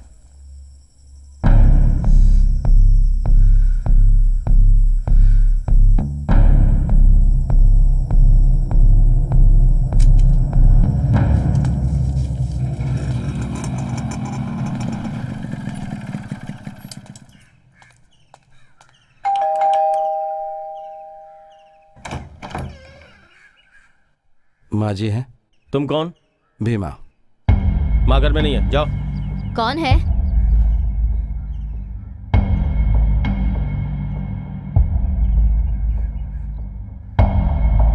आओ बेटा अंदर आओ। बैठो। रहने दीजिए। कोई बात नहीं। बैठ जाओ बेटा।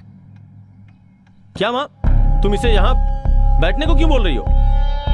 निरंजन तुम जरा शांत रहो। नहीं माँ वो तुम अंदर जाओ। कह रही हूँ ना अंदर जा।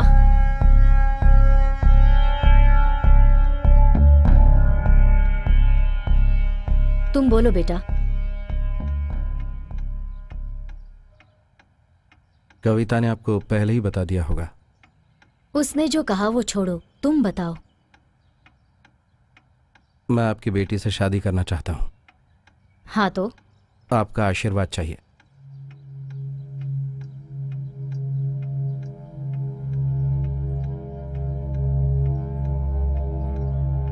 नहीं बेटा मैं अपनी बेटी की शादी तुमसे नहीं कर सकती। क्यों? ऐसा कोई बड़ा कारण नहीं है। अभी मैंने इसके शादी के बारे में सोचा नहीं है। शायद आप ये सोच रही कि आपकी बेटी को मैं अच्छी तरह रख पाऊँगा या नहीं। ऐसी कोई बात नहीं है बेटा। तो फिर मैं पढ़ा लिखा नहीं हूँ। चार पैसा नहीं कमा सकता मैं।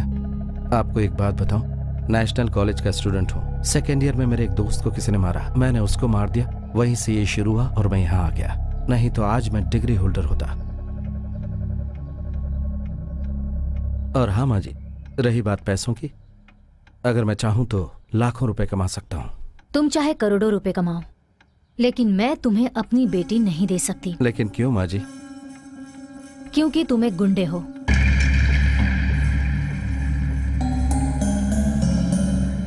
आपके पति कलेक्टर थे क्या?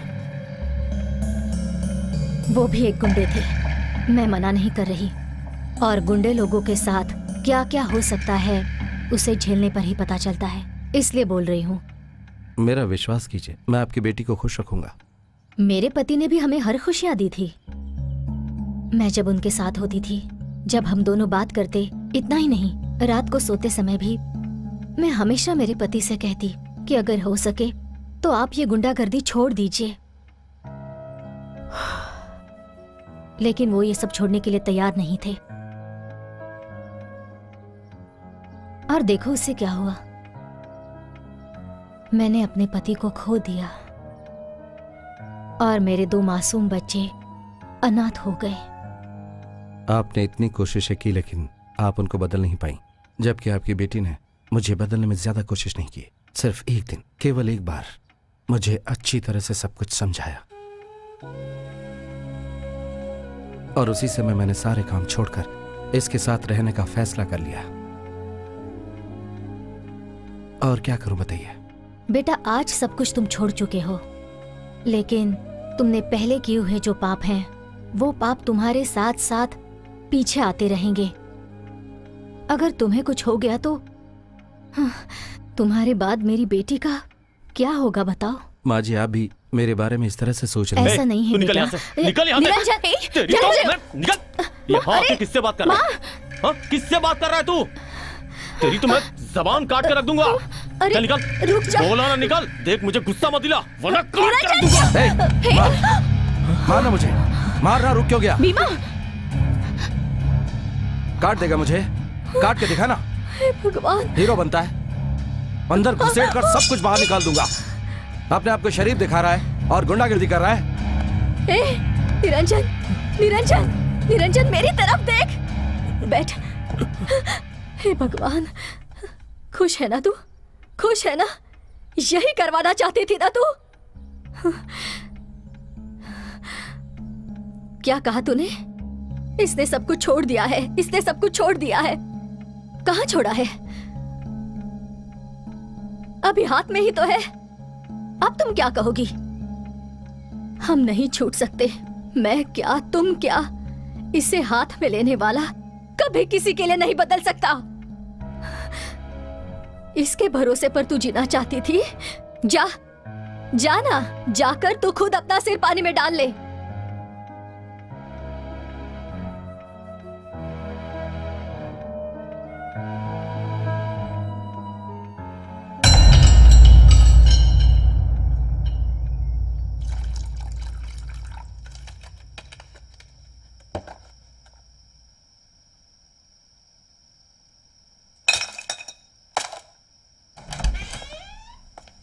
तुमने खाना खा लिया भीमा? हम्म। ठीक है मैं चलता हूँ। अरे कहाँ? आज रुक जाओ कल चले जाना। तुम यहाँ पढ़ोगे? मैं क्या करूँगा? मैं चलता हूँ। भाई हॉस्टल में सारे लड़के पढ़ाई थोड़ी करते हैं। आप इतना टेंशन क्यों ले रहे हैं? आप यहीं आराम कीजिए ना। देखो बहुत लेट हो गया है। इसीलिए कह रहा हूँ मैं। एक बार डरे तो पूरी ज़िंदगी डरना पड़ता है। अगर हौसला हो तो डर किस बात का? और अभी तो मुझे बहुत कुछ करना है। इतनी जल्दी मरने वाला नहीं हूँ मैं। चलता हूँ।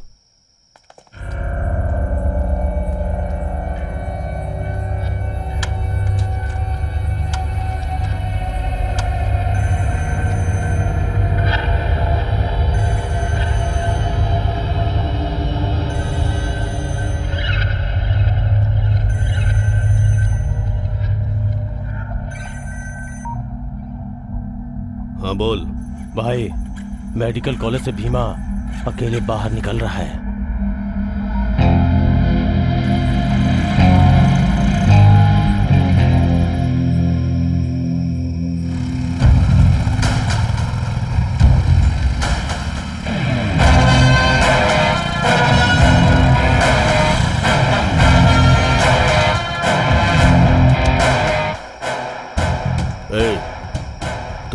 मार्केट के रास्ते में खड़ा हो। ठीक है। भीमा वहाँ से आएगा। आने वाला भीमा ही है या कोई और है देखकर मुझे कॉल करना। ओके भाई। चार लोग एक ही लाइन में रहेंगे। जा। भाई मैंने कहा था ना।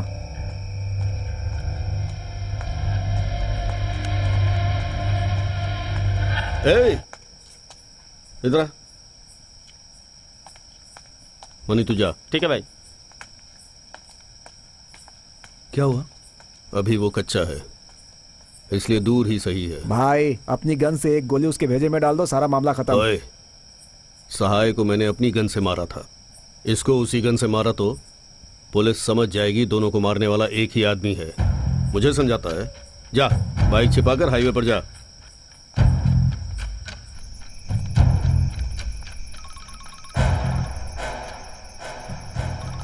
भाई मैं वहीं जा रहा हूँ। लाइन पर रहे। हाँ भाई। लाइन पर रहे। पवन हाँ।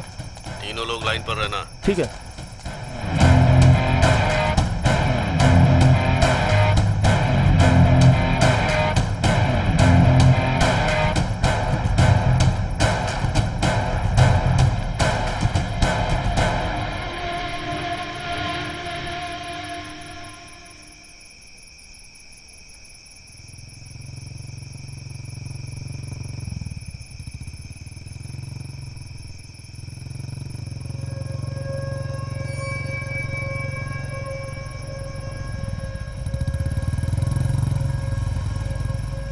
आ रहा है भाई।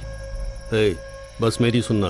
बीच में कोई नहीं बोलेगा। मेरे निकलने तक कोई बीच में नहीं आएगा। समझ गए?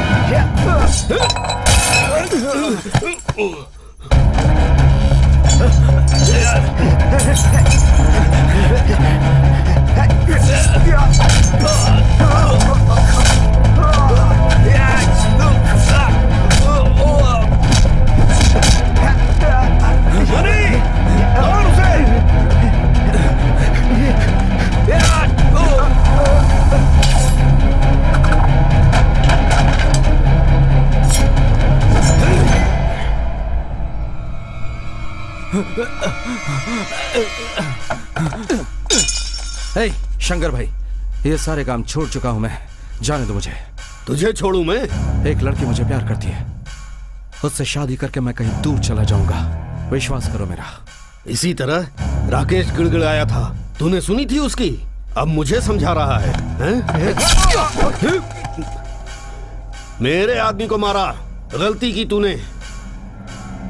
हिसाब तो बराबर करना।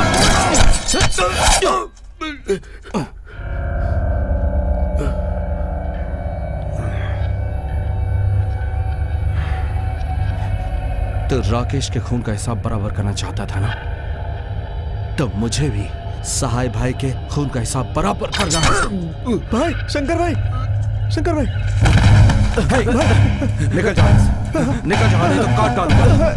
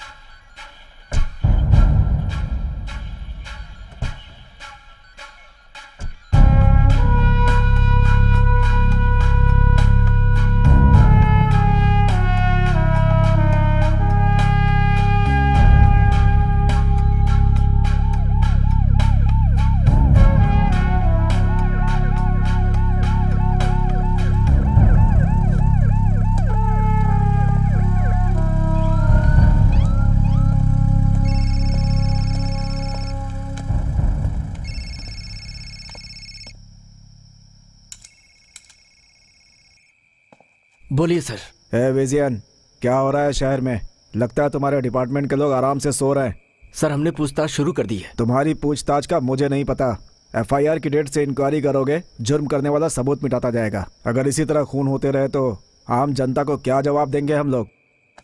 कुछ भी करना पड़े कोई रास्ता निकालो। तुम क्या करोगे मैं नहीं जानता। चौबीस घंटे के अंदर असली मुजरिम को अरेस्ट करके सलाखों के पीछे डालो। और जनता को विश्वास दिलाओ कि शहर सुरक्षित है।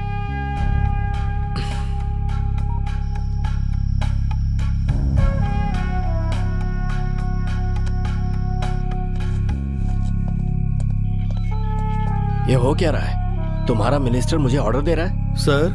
मुझे क्या मंत्री का गुलाम समझ रखा है? ये मना करे तो मैं इंक्वायरी बंद कर दूँ? और जब ये कहें तो फिर से इंक्वायरी शुरू कर दूँ? हाँ? अगर मेरा दिमाग खराब हुआ तो मैं मंत्री का बही खाता ऊपर भेज दूँगा। फिर जानते हो क्या होगा? इस गुंडे से मंत्री क्या क्या काम करवाता था? सब पता चल जाएगा। और उसके बाद ये मंत्री किसी अधिकारी को फ़ोन पर ऑर्डर देना तो दूर की बात है। लिखित में भी नहीं दे पाएगा। सर ये सब आप मुझे क्यों बोल रहे हैं? हम्म तुम भी तो हर महीने उसी से रिश्वत लेते हो। सब जानता हूँ डिपार्टमेंट में क्या चल रहा है। अब इस केस में क्या करना है मैं दिखाता हूँ।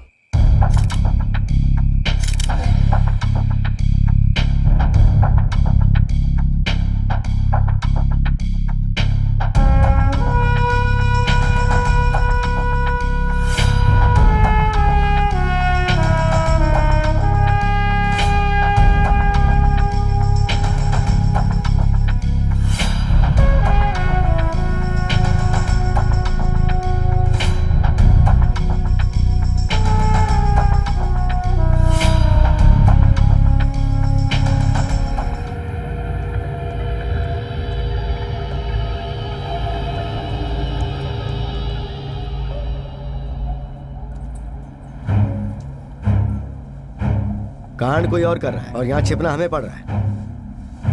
पुलिस एक एक की बुरी तरह से इंक्वायरी कर रही है। शहर में एक भी लड़का नहीं होना चाहिए सबको फ़ोन करके बता दिया ना। बोल दिया भाई लेकिन भीमा का नंबर बंद आ रहा है। क्या बोल रहा है तू? हाँ भाई मैंने खुद उसका फ़ोन आठ नौ बार ट्राई किया।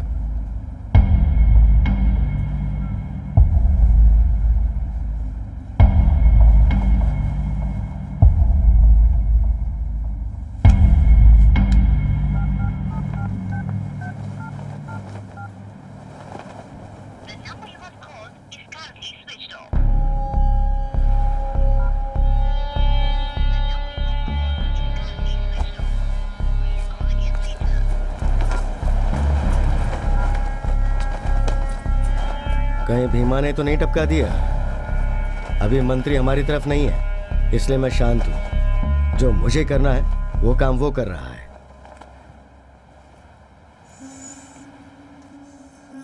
कंधे पे बिठाया तो कान में मूत रहा है। हेलो? बोलो छोटे। भाई से बात करनी है? भाई सहाय भाई के बेटे हैं। बात क्या है? उन्हें आपसे मिलना है। अकेले आने को बोल उसे जगह मत बताना। बस स्टॉप पर रुकने को बोल और तू जाकर लेके आना उसे। ठीक है भाई।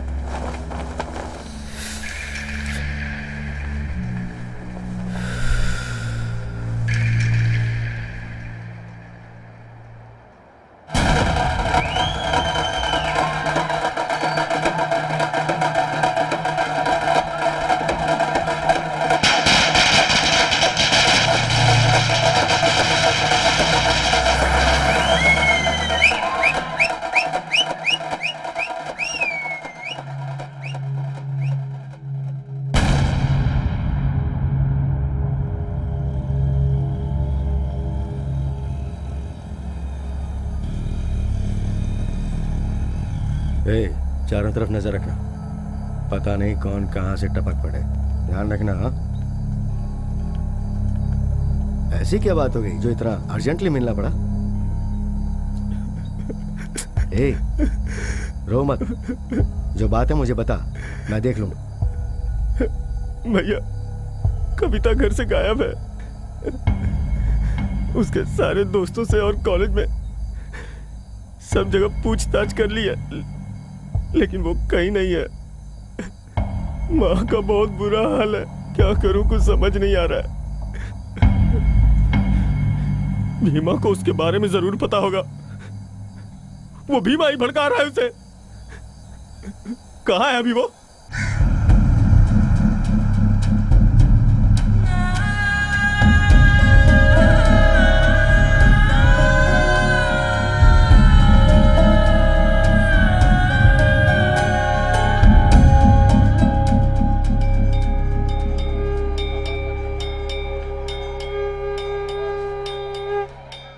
शंकर भाई की तिरहनी खत्म होने से पहले हमें उसका क्रियाक्रम करना है।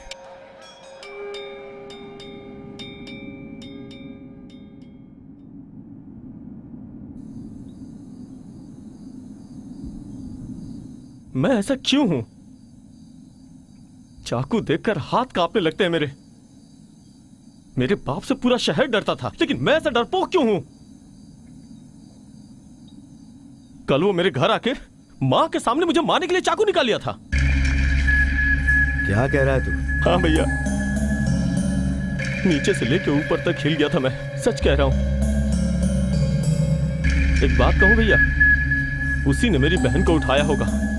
फ़ोन करो ना उसे। करो ना भैया। उसका फ़ोन बंद आ रहा है।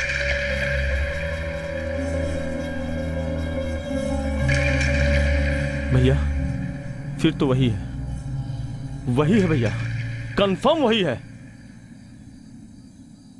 तुम्हारी बहन का जब से फ़ोन बंद आ रहा था मैं तभी समझ गया।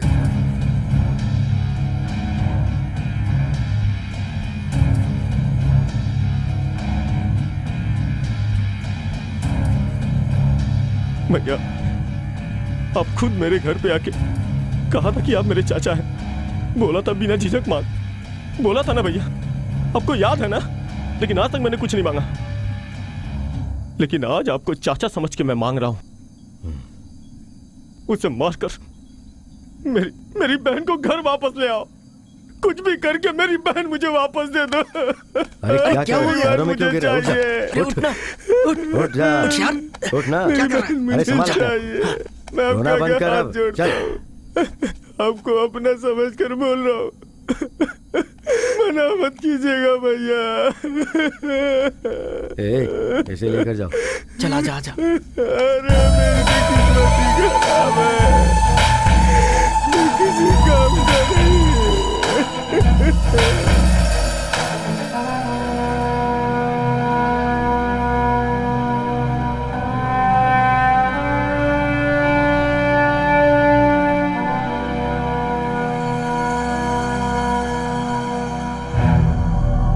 मूर्ति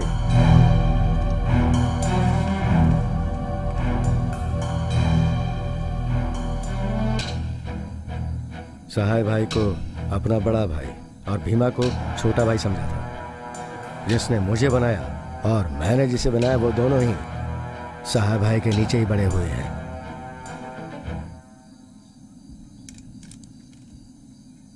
सुन, हमारे सारे लड़कों को फ़ोन करके बोल। भीमा बचना नहीं चाहिए। ठीक है भाई।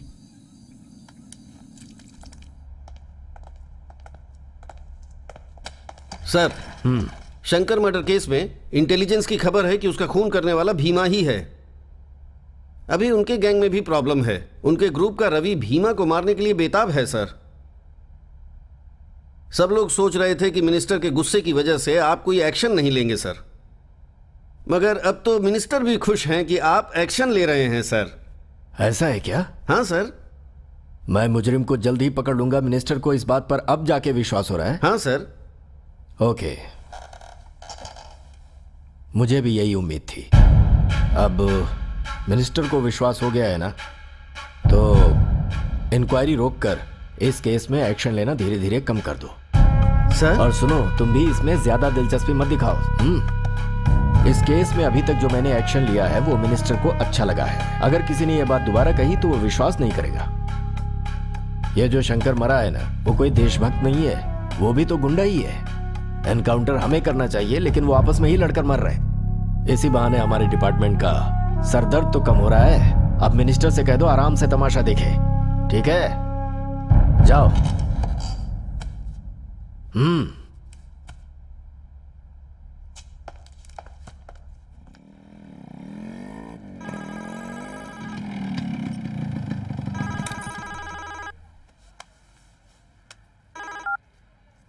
हेलो जगदीश भीमा बोल रहा हूँ। अरे भीमा कहाँ पर हो तुम? शंकर मर्डर केस में अंडरग्राउंड हो। ये क्या कह रहे हो तुम?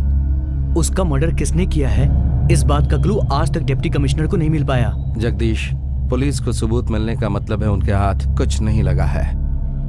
अगर वो ना बोले इसका मतलब वो खूनी के पास पहुँच चुके हैं। तो उसके लिए तुम क्यों छुप रहे हो? वो करने वाला मैं ही हूँ। क्या कह रहे हो तुम? वो बाद में बताता हूँ। मुझे तुम्हारी हेल्प चाहिए। क्या करना है मुझे बताओ।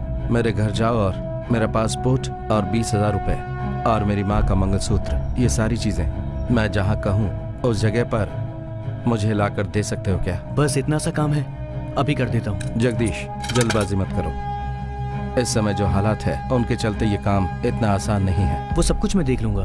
देखो मेरी वजह से तुम्हें कुछ नहीं होना चाहिए। क्या यार? दोस्ती के लिए मैं इतना तो कर ही सकता हूँ। अच्छा रख रहा हूँ। जगदीश जरा सुनो। मैंने अभी तक किसी को बताया नहीं है। कि मैं इस समय कहाँ पर हूँ? यह बात तुम अपने तक ही रखना। मेरा विश्वास करो, मैं किसी को नहीं बताऊँगा, ठीक है?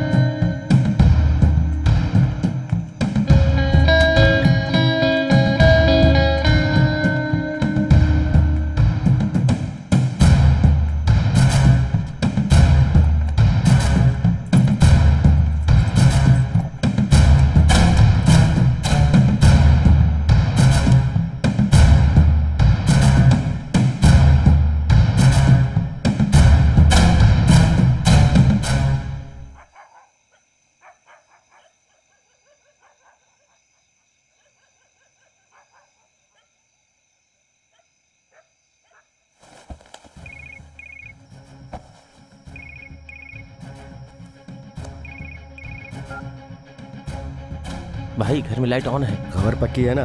भीमा ही है भाई। लगता है वो कुछ ढूंढ रहा है। वहाँ से नज़र मत हिलाना मैं वहीं आ रहा हूँ। सब तैयार रहो।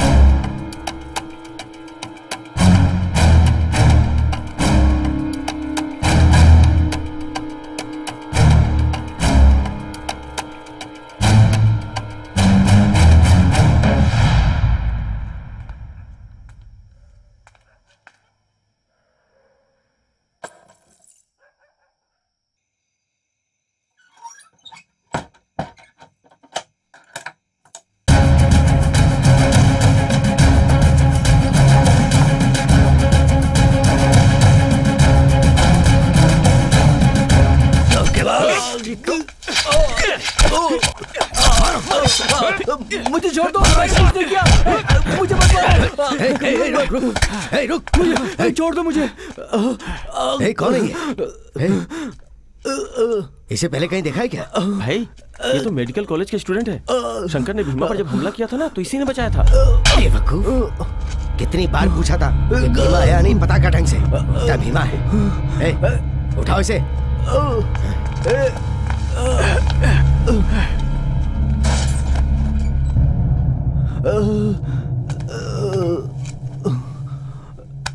ए, भीमा कहाँ है? हैं? कहाँ है? बता।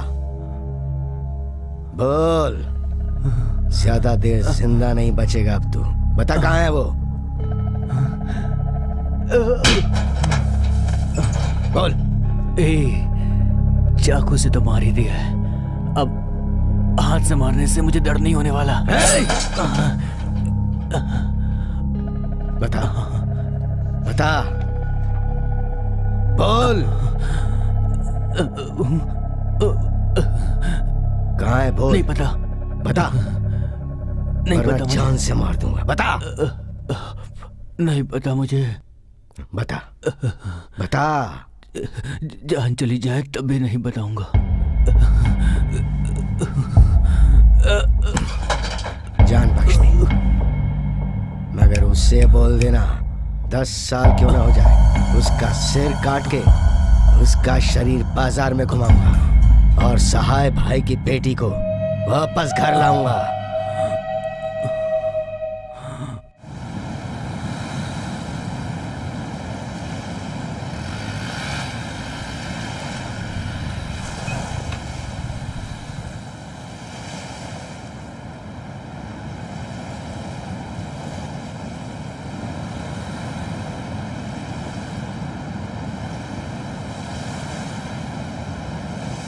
रवि भाई ने मेरे दोस्त पर हमला किया ये समझकर कि वो मैं हूँ, यानी मुझे मार देते हैं।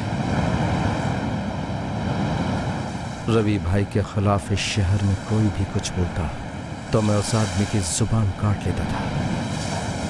लेकिन रवि भाई ने हमेशा ही सहाय भाई को मुझसे ज़्यादा समझा।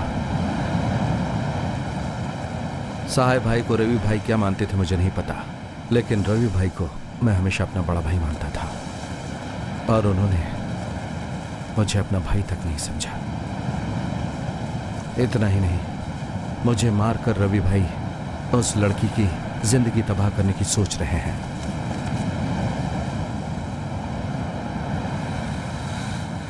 अब या तो रवि भाई रहेंगे या मैं।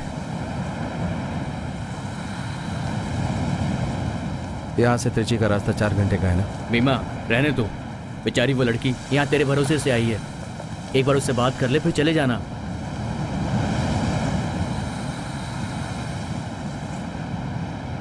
अगर मैंने जाने के लिए कहा तो कविता जाने नहीं देगी। मेरे जाने के बाद उसे बता देना। हुँ?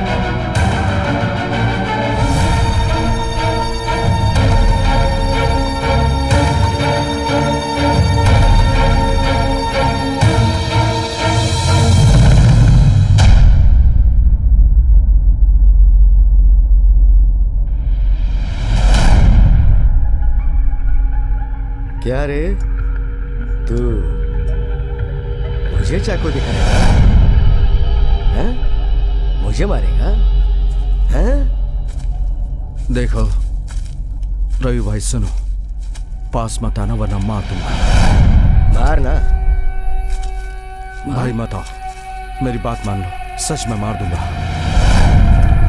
मान जाओ भाई। इतनी हिम्मत आ गई तुझमें? मार? जिसने चाकू उठाना सिखाया आज उसी पे वार करेगा।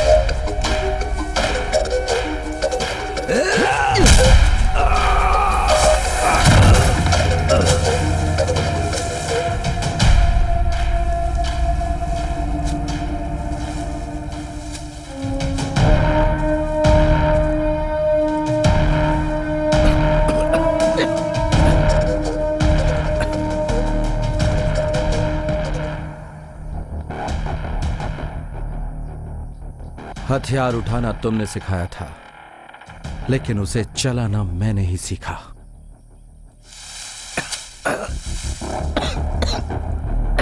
ये तुम नहीं जानते थे।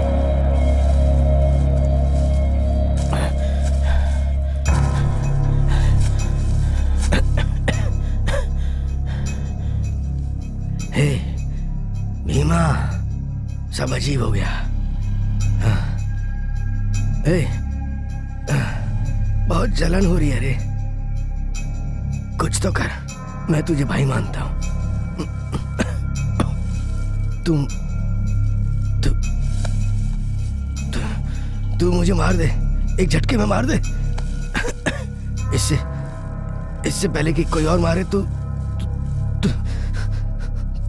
तू, मुझे मार दे। भीमा मार दे मार दे। अपने हाथों से सीधा गल, गले में मार दे। भाई हमें कौन किस जगह पर खत्म कर देगा ये हम नहीं जानते। उधार की ज़िंदगी जीते हैं। हमेशा डरे रहते हैं। किसके लिए हमने ये चाकू उठाया था? आपने अपने लिए उठाया था या फिर मैंने अपने लिए? कहाँ कहाँ पर और किस किस के लिए? बिना किसी कारण ये चाकू उठाया था हमने। ये एक नशा है भाई। जैसे सिगरेट का नशा, शराब का नशा, गांजा का नशा। जानते हैं सबसे बड़ा नशा क्या होता है? दूसरों के मन में खुद का खौफ पैदा करना यही सबसे बड़ा नशा है। खाकी वर्दी वाले, सफ़ेद वर्दी वाले, हमेशा हमारा इस्तेमाल करके हमें नीचा दिखाते हैं। हमें उठाने कोई नहीं आएगा, हमें ही उठना होगा। सिर्फ़ मैं ही नहीं, बल्कि हम सब ये सारे काम छोड़ देते हैं भाई।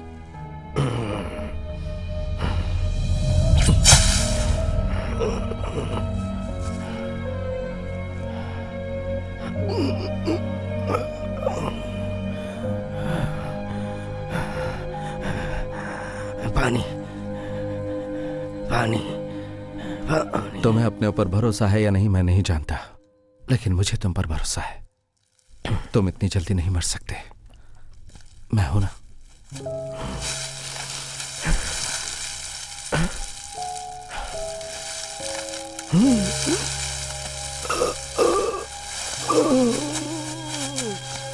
ना।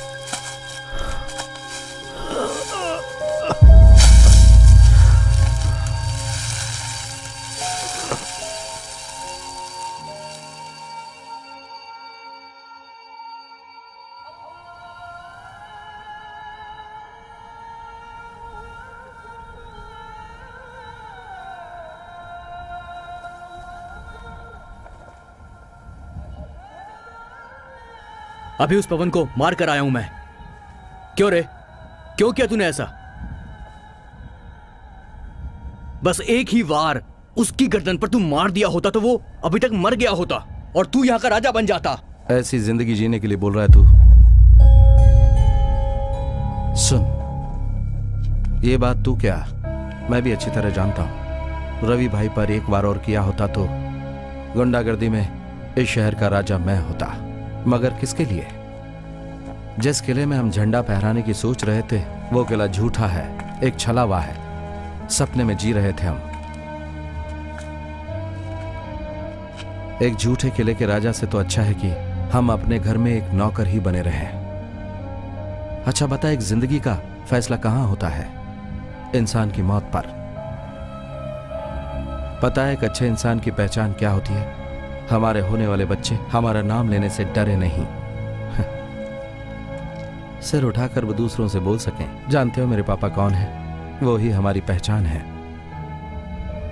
इस शहर के असली राजा पता है कौन है? ये देखो, इस मस्जिद के अंदर। और वहाँ, उस चर्च के अंदर। वो वहाँ, उस ऊँची पहाड़ी के अंदर मंदिर में बैठकर ये सारा का सारा नाटक देख रहे हैं। वो ही असली राजा है। और हम इस बात को नहीं समझते। तुम जानते हो, हमें देखकर जो लोग सलाम करते हैं, सल्यूट करते हैं हमें, वही लोग हमारा इस्तेमाल करते हैं अपने स्वार्थ के लिए। आज नहीं तो कल तुझे मेरी ये बात समझ में ज़रूर आएगी। जिस दिन समझ में आ जाए यह रास्ता छोड़कर बाहर निकल जाना। मैं वहीं पर तेरा इंतज़ार करता मिलूँगा।